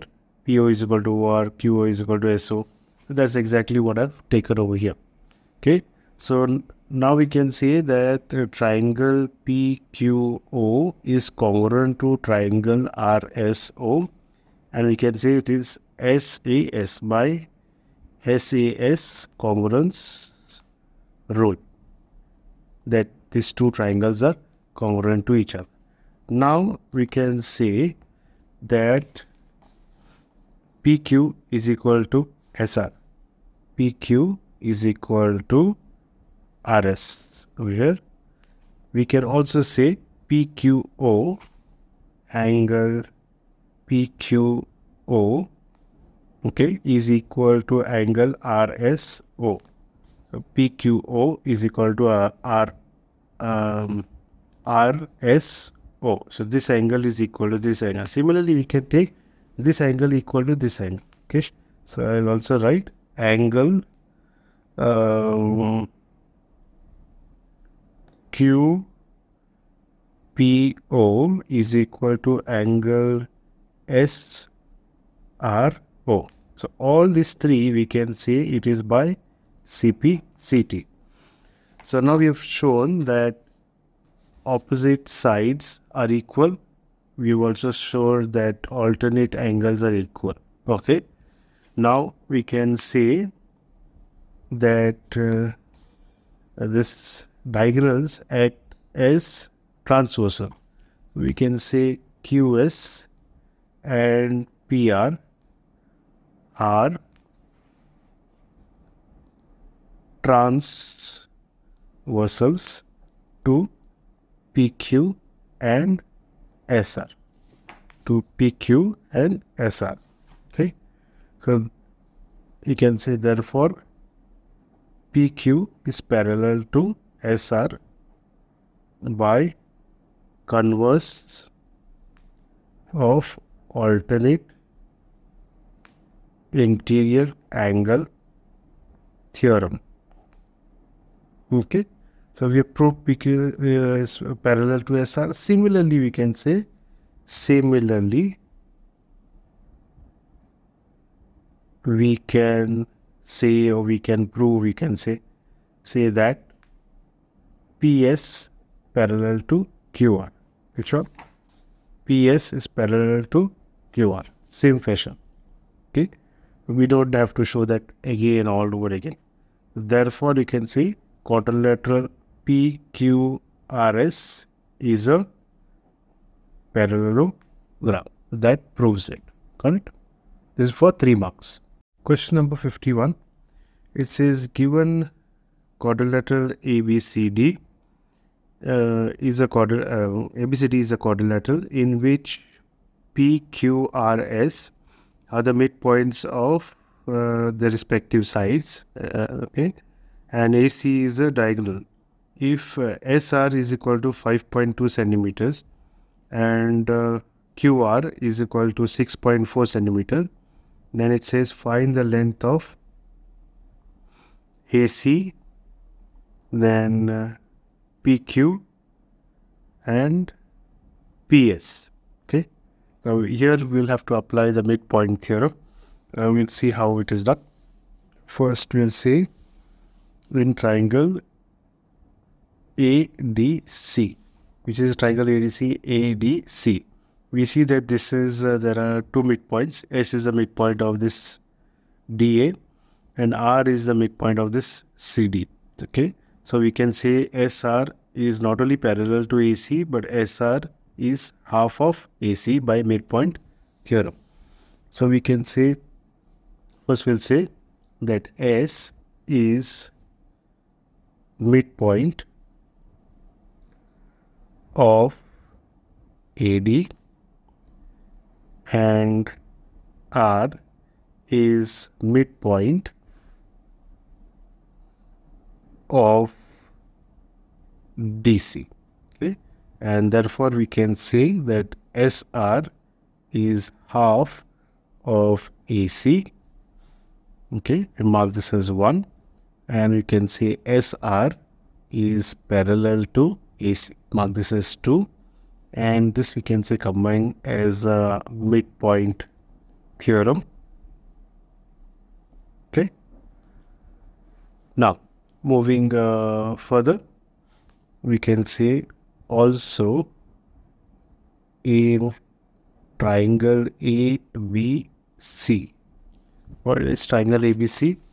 So angle ABC, we have got two more midpoints, Q, which is the midpoint of BC, and P, which is the midpoint of AB. So in that case, PQ will become half of AC and also PQ will be parallel to AC. So let's write this down.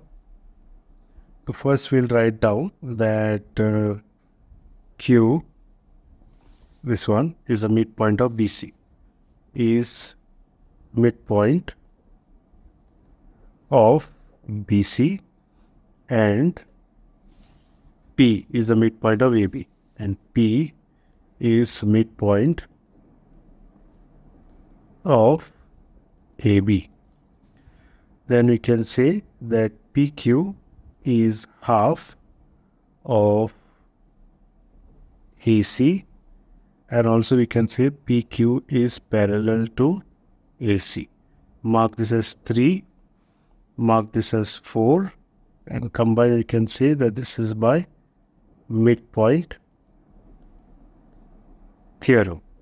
Hmm? Now we can say from 1 and 3 which is 1 1 is SR is half of AC and 3 is PQ is half of AC so both are equal to AC that means you can say that SR is equal to PQ.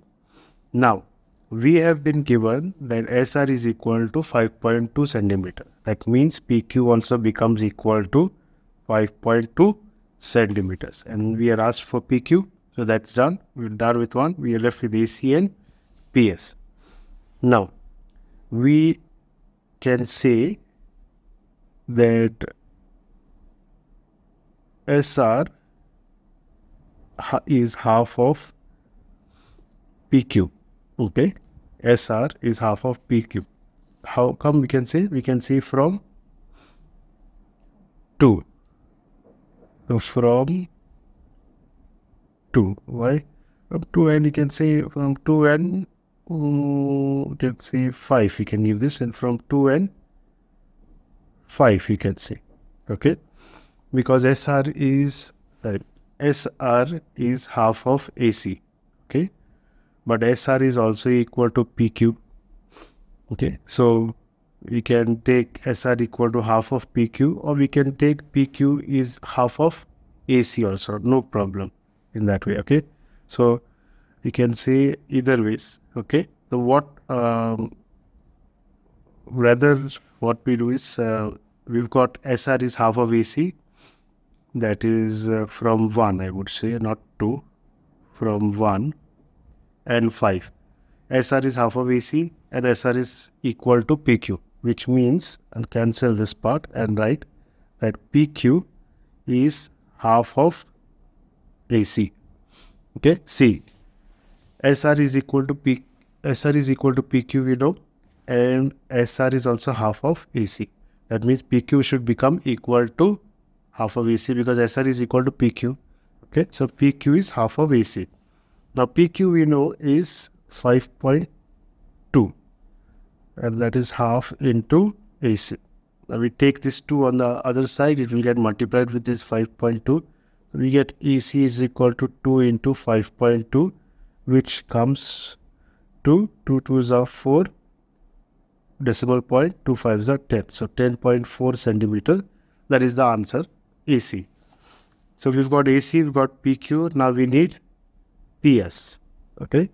Now, we can say that uh, since PQ is equal to SR and PQ is parallel to AC. Okay, uh, PQ is parallel. Uh, PQ is parallel. Uh, sorry, PQ is equal to SR from five, and from four and five. We can say from four and five. Okay. Now we can say therefore quadrilateral PQRS is a parallelogram. Okay, because we have shown that uh, PQ is equal to SR and PQ is also um, parallel to AC. Uh, PQ, uh, is parallel to AC and uh, AC is parallel to sorry PQ is parallel to AC and AC is parallel to SR. So we can also include uh, 2 over here from 2, 4 and 5. Okay, we can say uh, directly we can say actually PQ is parallel to SR, not AC, but SR. Why? Because PQ is parallel to AC, but AC is parallel to SR. So PQ become should become parallel to SR. So from 2 uh, 4 and uh, not yeah and from 5 because we include PQ is equal to SR. We can say that the opposite sides are parallel equal therefore we can say that quadrilateral PQ RS is a parallelogram. All this is only because to show therefore we can say that QR is equal to PS. We can say QR is equal to PS. Opposite sides of a parallelogram are equal. So we over here we are given QR is equal to 6.4. So that means PS should become equal to 6.4 centimeters. You can write over here the reason opposite side of a parallelogram. Okay. So we need three answers. First one was here 5.2 second one was here 10.4 and third one was here 6.4 so we finish with question number 51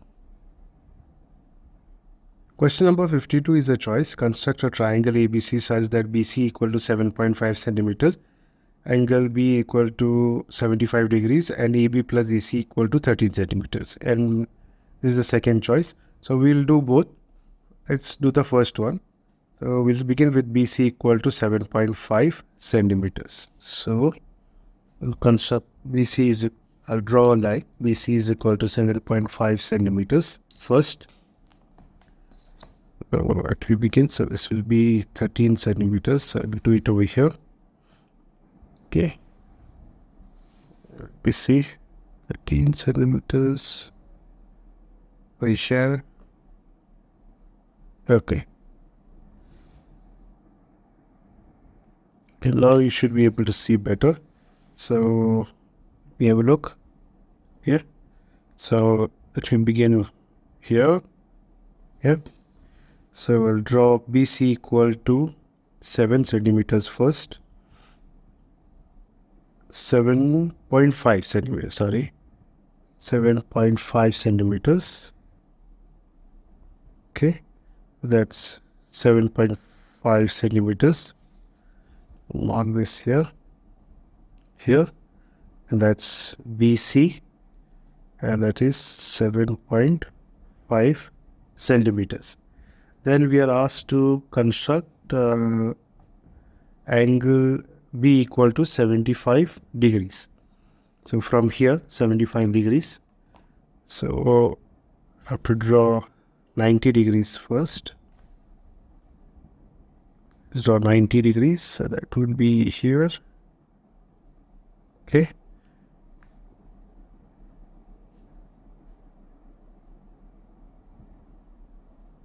Okay. Keep it here, so I do not change the measurements. I hope you know how to construct 90 degrees.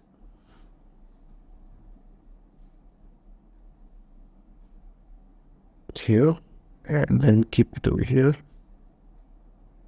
construct 90 degrees okay so since 90 degrees is not what we are asked I constructed as dotted lines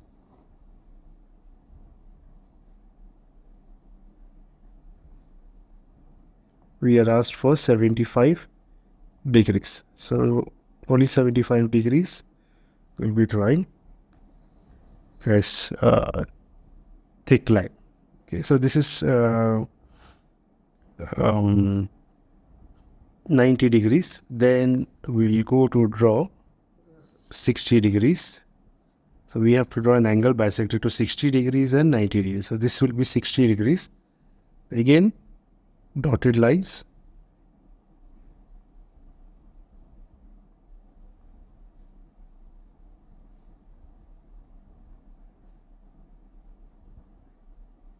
Here. That's it. That's 60 degrees. Now between the two, we will get 75 degrees. We take the measurement from here to here, just this small arc.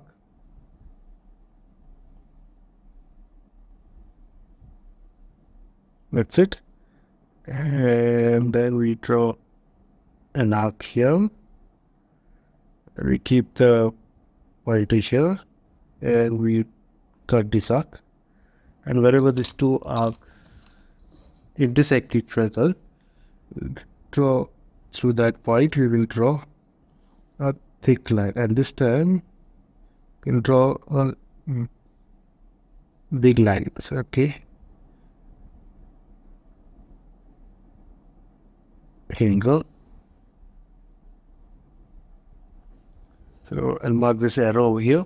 That's a long line. There we are uh, said AB plus AC is equal to 13 degrees. So with the help of a compass, we'll have to cut 13 degrees, 13 centimeters, sorry, on this particular line. So we'll measure 13 degrees.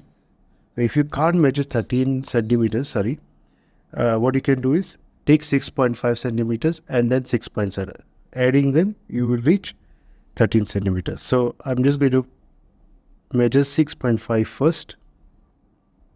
That becomes easier. So keep the pointer here.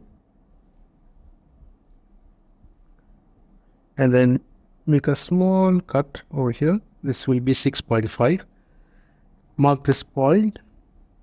Okay we need 13 so we have interested in 6.5. But 6.5 plus 6.5 should give us 30. Keep the point here and then cut another arc. And that is 13 centimeters. So right here, this is our 13 centimeters. So we can mark this as 13 centimeters. And from that point, we will connect C. Okay, so here we go. We have done that. Now, the next thing is to draw a perpendicular bisector to this line. Now, we can give it some name, like let's say Y, anything you can give.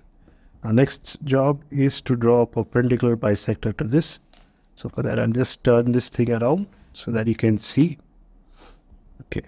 Now to take, make sure that uh, the length is more than half of this. If you want it, you can take the measurement also over here and see. So this is roughly around around 13 and a half. So make sure you take at least 7 centimeters. Okay. And you can measure this or you can randomly take, but just make sure that it is longer than uh, or half, more than half of this length.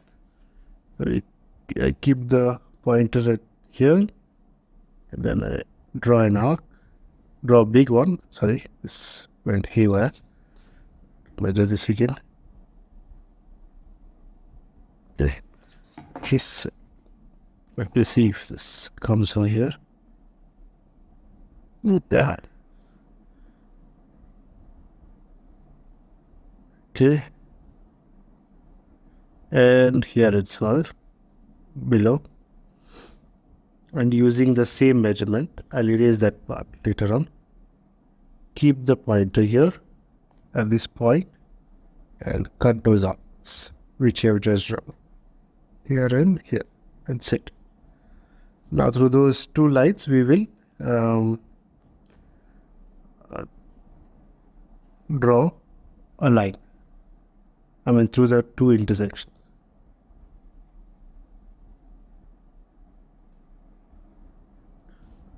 Mark this point here and mark this point here.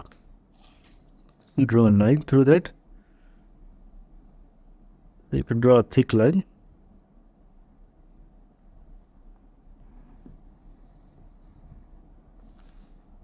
That's it. Okay. Now turn this around again. Now wherever this line cuts this line mark that point and that will be your A and we'll join A to C. That will complete our triangle. There you go. Okay? That completes our triangle. You can check if AB plus AC is coming to 13 centimeter and do not forget to mark the angle which is uh, 75 uh, degrees. So from uh, here to here this is 75 degrees. Can you just check how much is this? It comes to 5 and this comes to 8 so that's 30 centimeters. So this is how you construct this triangle. First one. Next question uh, construct triangle PQR such that QR is equal to 6.5 centimeters angle Q equal to 60 degrees and PR minus PQ equal to 3.5 centimeters. So first we'll draw QR equal to 6.5 centimeters. Okay so draw over here. I'll do. QR is equal to 6.5 centimeters here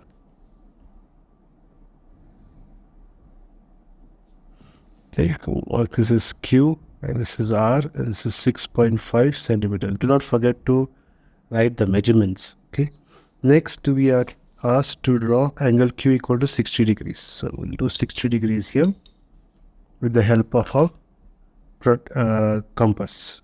So keep it right here. There you go. And then keep the pointer here and cut this arc and that's 60 degrees. Okay. and this time when we draw 60 degrees it has to pass through Q come down as well as on top show you what I mean on top and also below. Okay?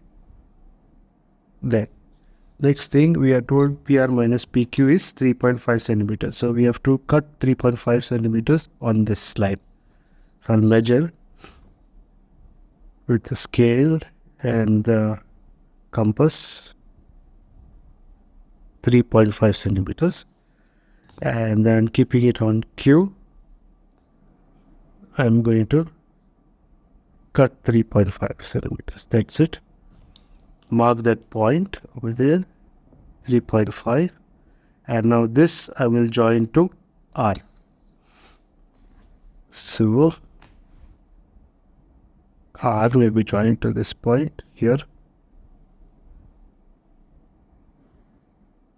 You go. Done. Now, the next thing that we need to do is uh, draw a perpendicular bisector to this and gives uh, some name over here. Uh, we'll keep this as Y and maybe this as a D. Any letter you can draw a perpendicular bisector to DR. Again, the length should be, whatever length you're taking should be greater than half of this length. Just randomly taking over here. Draw an arc here and an arc here. Okay. And then from D, without changing the measurements, cut here and cut here. See, for those who do not know how to handle a compass, do not handle a compass here, here, anywhere, or with two hands or two fingers. Okay, it should be held like this on top. Keep it here and move it around. Okay, once, twice maybe. That's it. Don't keep on moving it around, around. Make sure you've got a sharp pencil, okay, or a darker pencil. So now we have got uh, the two arcs intersecting and mark the points where they intersect each other so that we can draw the perpendicular bisector. So there you go.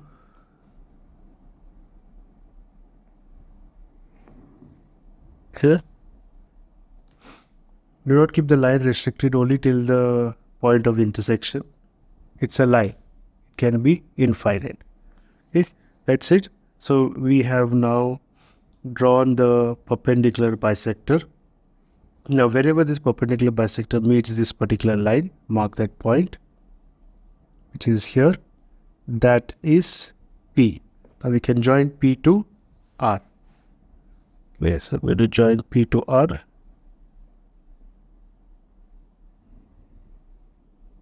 There you go. That's it. And that completes our triangle. So make sure you mark over here is 60 degrees. Okay. And also over here, since you cut this 3.5 centimeters, 3.5 centimeters, now you can check if uh, PR minus PQ. That and th this itself should show you that it is correct because PR should be greater than PQ. If your PQ is greater than PR, that means the, what you'll get is a negative answer. Length cannot be negative. So it has to be PR minus PQ and that should come equal to 3.5. Let's just check to verify. So here we have 6. Let's see how much we have got here here we have got uh, 2.5 okay so 6 minus 2.5 gives us 3.5 set so okay. So that's it. Uh, done with this uh, triangle. This was an easier one. If you know to construct this might as well go for this one. And done with this question number 52 for 3 marks. Next, we come to question number 53, which is the last question of section C for 3 marks. Factorize the polynomial a cube plus 13a square plus 32a plus 20. Okay. So, just utilize the space over here. I'll write 53 and I'll write the question once again. a cube plus 13a square plus 32a plus 20. Okay. Now, what we'll do over here is that a uh, we have got a cube plus 30a square plus 32a plus 20. So this a square, a cube I'll keep the way it is. Okay. And this 13a square I'll split it into plus, uh, plus a square plus 12a square. Okay. And similarly, this uh, 32 e square I'll uh, maybe split it into here uh, split it into 12a plus uh, 20a sorry 20a plus 20 okay you see what I'm doing now here in this 2 we can take out a square common, right? So I'm going to take a square common. I'm left with a plus 1 over here. In case of this, again, I can take uh, 12 common and I'm left with a, uh, sorry, 12a common. Okay. I'm left with, uh, write it down again, 12a. So I'm left, if I take out 12a from here, I'm left with a plus 1 again. And here, if I take out 20 common, I'm left with a plus 1. If I take out, now we have got common among all of them is a plus 1. I'll take that out separately. And then what we are left with is a square plus 12a plus 20. Now this is into quadratic form, which we can split the middle term and get the other factors. So a plus 1, so 1 into 2, 20 is 20, uh, 20. And 10 into 20, 10 into 2, sorry, will give us 20. And since the middle term is positive and the constant term is also positive, that means both the terms should add up. So we get, we write here a square plus 10a plus 2a plus 20. Then a plus 1. Well, here we can write as uh, we can take a common between these two. Uh, we'll be left with a plus 10. Here we can take 2 common. We'll be left with a plus 10. Close the bracket. Continue with a plus 1. And then we can write a plus 10 is one factor which is common and what is left behind is a plus 2. So that is the solution of this. First thing what we did was try to find out something that is common. So a cube was left like that. From 13a square it was split up into a square plus 12a square which means 1a square plus 12a square. And 32a was split into 12a plus 20a because there was 20 over here we took a square common, a plus 1 was left. We took 12a common, a plus 1 was left. And we took 20 common, so a plus 1 was left. We took a plus 1 plus 1, which was common to all of them, separately outside. We were left with a square plus 12a plus 20. This, we got uh, the factors for of this by splitting the middle term. And the factors were a plus 10 into a plus 2 into a plus 1 that came from here. And so these are the factors. So this is what we were asked to we were asked to factorize this particular polynomial and this is way how we do it. So with this we come to an end of section C. Um, if you like watching the video, please hit the like button. Do subscribe to the channel. Ask your friends and, uh, and also classmates to subscribe. Remember, this is just your first term. You will also need such videos for the second term. So I will be making videos for the second term as well. So if uh, do share these videos with uh, your classmates as well as friends. So let's move to the last part, section D, which has got only two questions, four marks each. Coming to section D, one marks each. Question number 54. Triangle ABC, uh, triangle ABC and triangle DBC are two isosceles triangles on the same base BC and the vertices A and D are on the same side of BC. AD is extended, AD is extended to, to intersect BC at E. This is what it means. We need to prove that triangle ABE is congruent to triangle ACE. Okay. So let's begin. Begin with uh, proof. AB is equal to AC, I will say and also BD is equal to CD. And uh, since triangle ABC is an isosceles triangle, mark this as 1. And here you can say since triangle DBC is an isosceles triangle, mark this as 2. What I've done is told AB is equal to AC and DB is equal to DC. This is what we are given. Okay. Now, we say in triangle ABD and triangle ACD. Now, which two triangles are we uh, taking over here?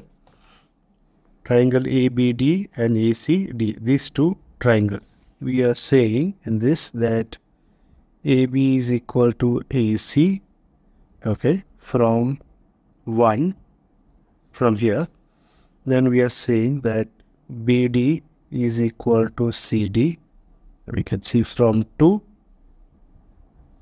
this one and we can say that ED is equal to AD which is common side so what I've shown over here we are considering these two particular triangles So this side is equal to this side. This side is equal to this side. Okay, because we've already said this side is equal to this side because isosceles triangle, this full ABC. And this side is equal to this side because DBC is also given as isosceles. So this side is equal to this, this side is equal to this, and this AD side AD is common to both this triangle. So we can say these two triangles are congruent to each other. Therefore, triangle ABD is congruent to triangle ACD. How?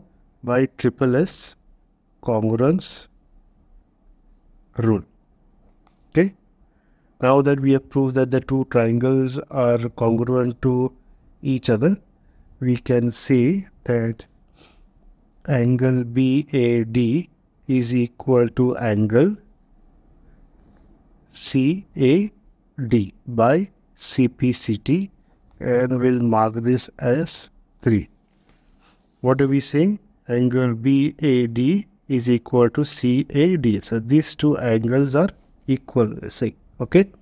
Now, moving further, we'll take in triangle ABE and triangle ACE. Which triangles are we considering now? ABE and ACE. That's exactly what we need to show that these two triangles are congruent to each other.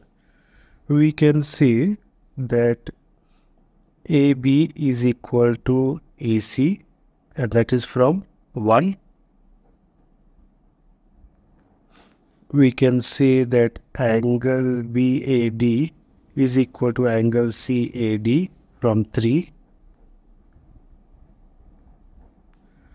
and we can say AE is equal to AE which is common side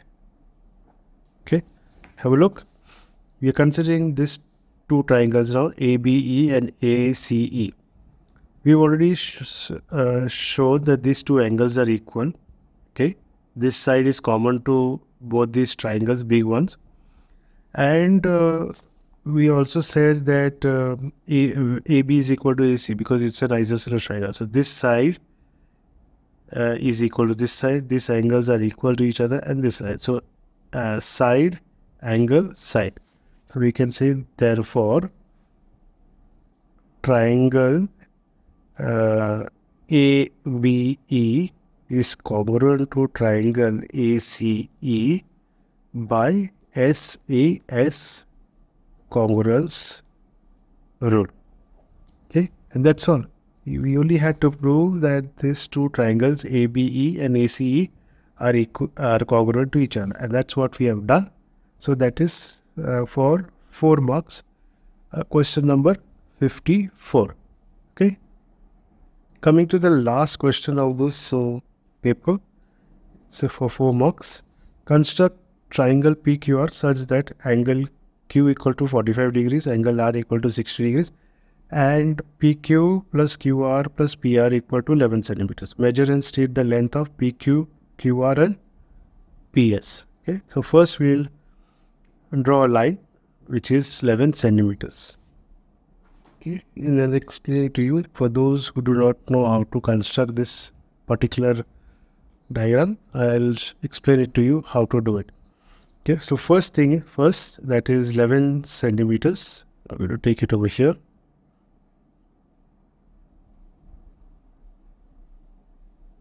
Take a little here. Okay.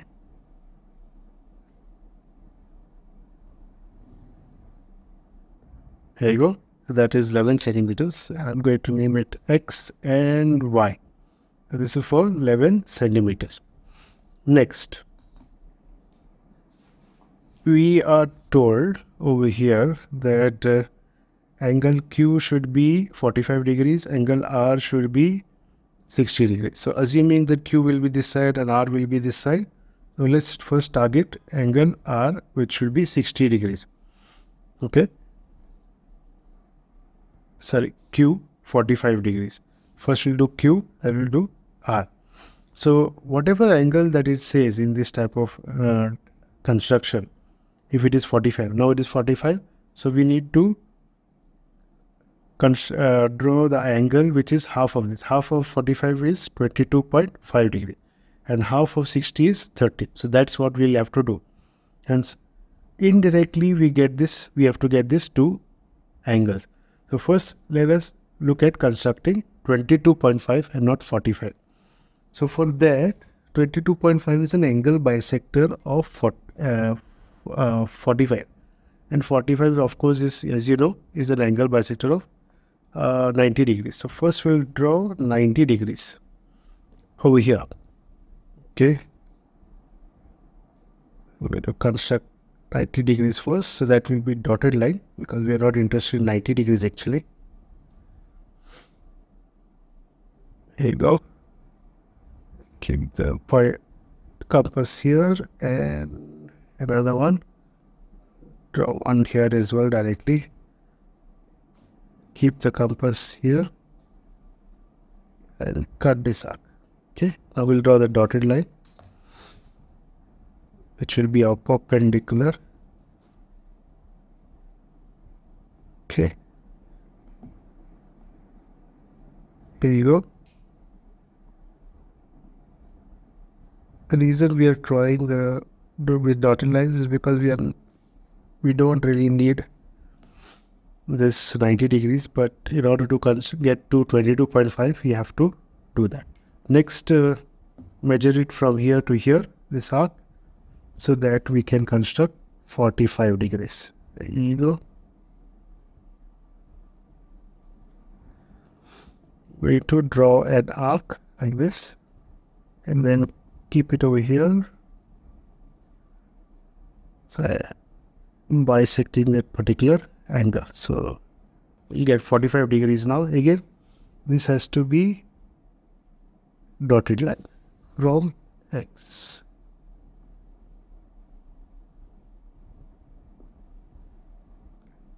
Go. That's enough. Okay, and now further bisecting this angle of 45 degrees. Will be from here to here we have to measure. So that's the measurement. Yeah draw an arc and keep the compass here and we'll cut this here that's it here you go okay I will draw a thick line from X moving straight here. So that will be our 45 degrees.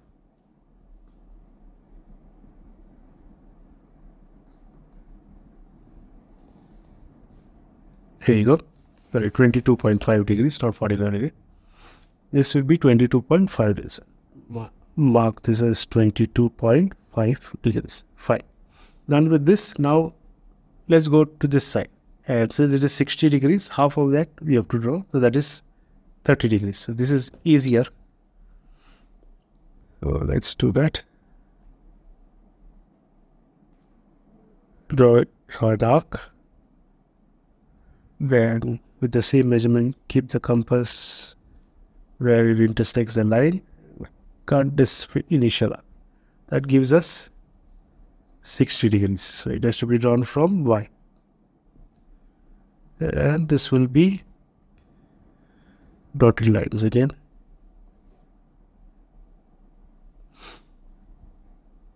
So what we are doing right now is 60 degrees, but we need 30 degrees. Here you go. And now for the 30 degrees, we measure from here to here. We're going to bisect this angle.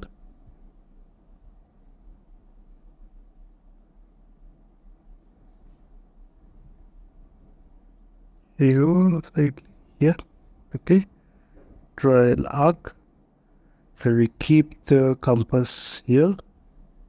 And draw another arc that should give us 30 degrees draw this a little bit thick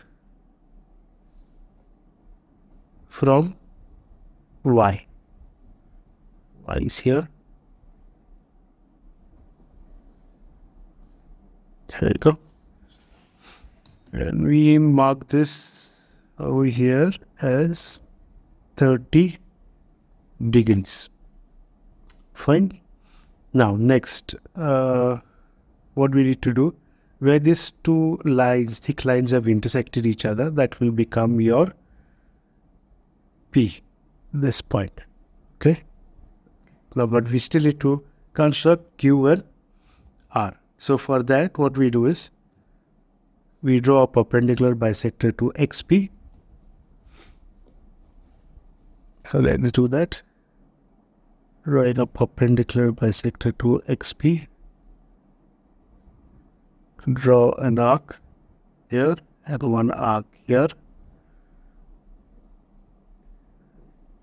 Just make sure your compass does not shake much. And from here, cut this arcs. That will be our perpendicular bisectors. Mark the intersection point.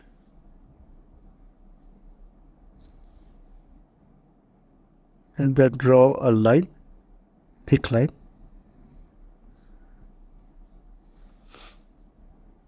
There you go. Okay, it's done. Next, um, we draw a perpendicular bisector to PY. So take more than half here, here one. Then from P, give the compass on P, cut this two arcs. Alright, you can mark those points. Here one, and another one will be here. Draw a line through those intersections. It will make you your perpendicular bisectors.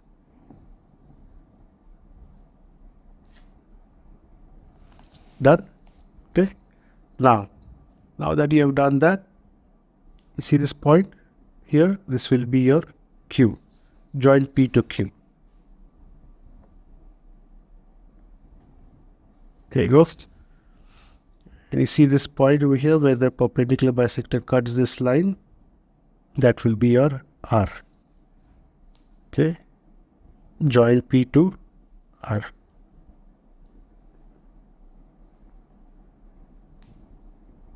Go. That gives you your triangle. Uh, actual triangle was so small. Just PQ R. So this Q should be 45 degrees. R should be 60 degrees. So you can measure and see it will be 45 degrees over here. It's, it's giving 45 degrees. And over here it will be giving around 60 degrees. Okay. You can mark over here as 45 degrees. And this would be 60 degrees. And that's how you construct this particular triangle. This would be for 4 marks. Okay. So with this, we come to an end of this uh, particular video on the model paper of class 9, uh, term 1, uh, maths paper, for, uh, which is going to come uh, in October now, within a few days' time. Okay, so this was for 80 marks. Uh, let me know in the comment section how did you find this video. If you have liked watching this video, please hit the like button and also share this video with your friends as well as your classmates. Do not forget to subscribe. Uh, it takes a lot of effort to make such videos. To see uh, it takes more than the three hours that are uh, given to you by Goa board to make such a video. We make the video. It's all about uh, ma making sure that the correct thing comes uh, uh, is uh, put forward. And also uh, there's a lot of editing work that goes in the background. So uh, it would be nice if, if you would subscribe to this uh, channel as well. Kind of motivates me to do more. And also do comment in the comment section if you need any particular video in the future. So more such videos will be coming in the future now that you know you will be shortly uh, answering uh, the paper. Uh, you will know what are the difficulties you face and uh, hopefully you can come up with uh, suggestions as to what kind of videos that you need in the future. So thank you for watching uh, this video and keep watching more such videos. Thank you and all the best for your exams as well. Thank you. Bye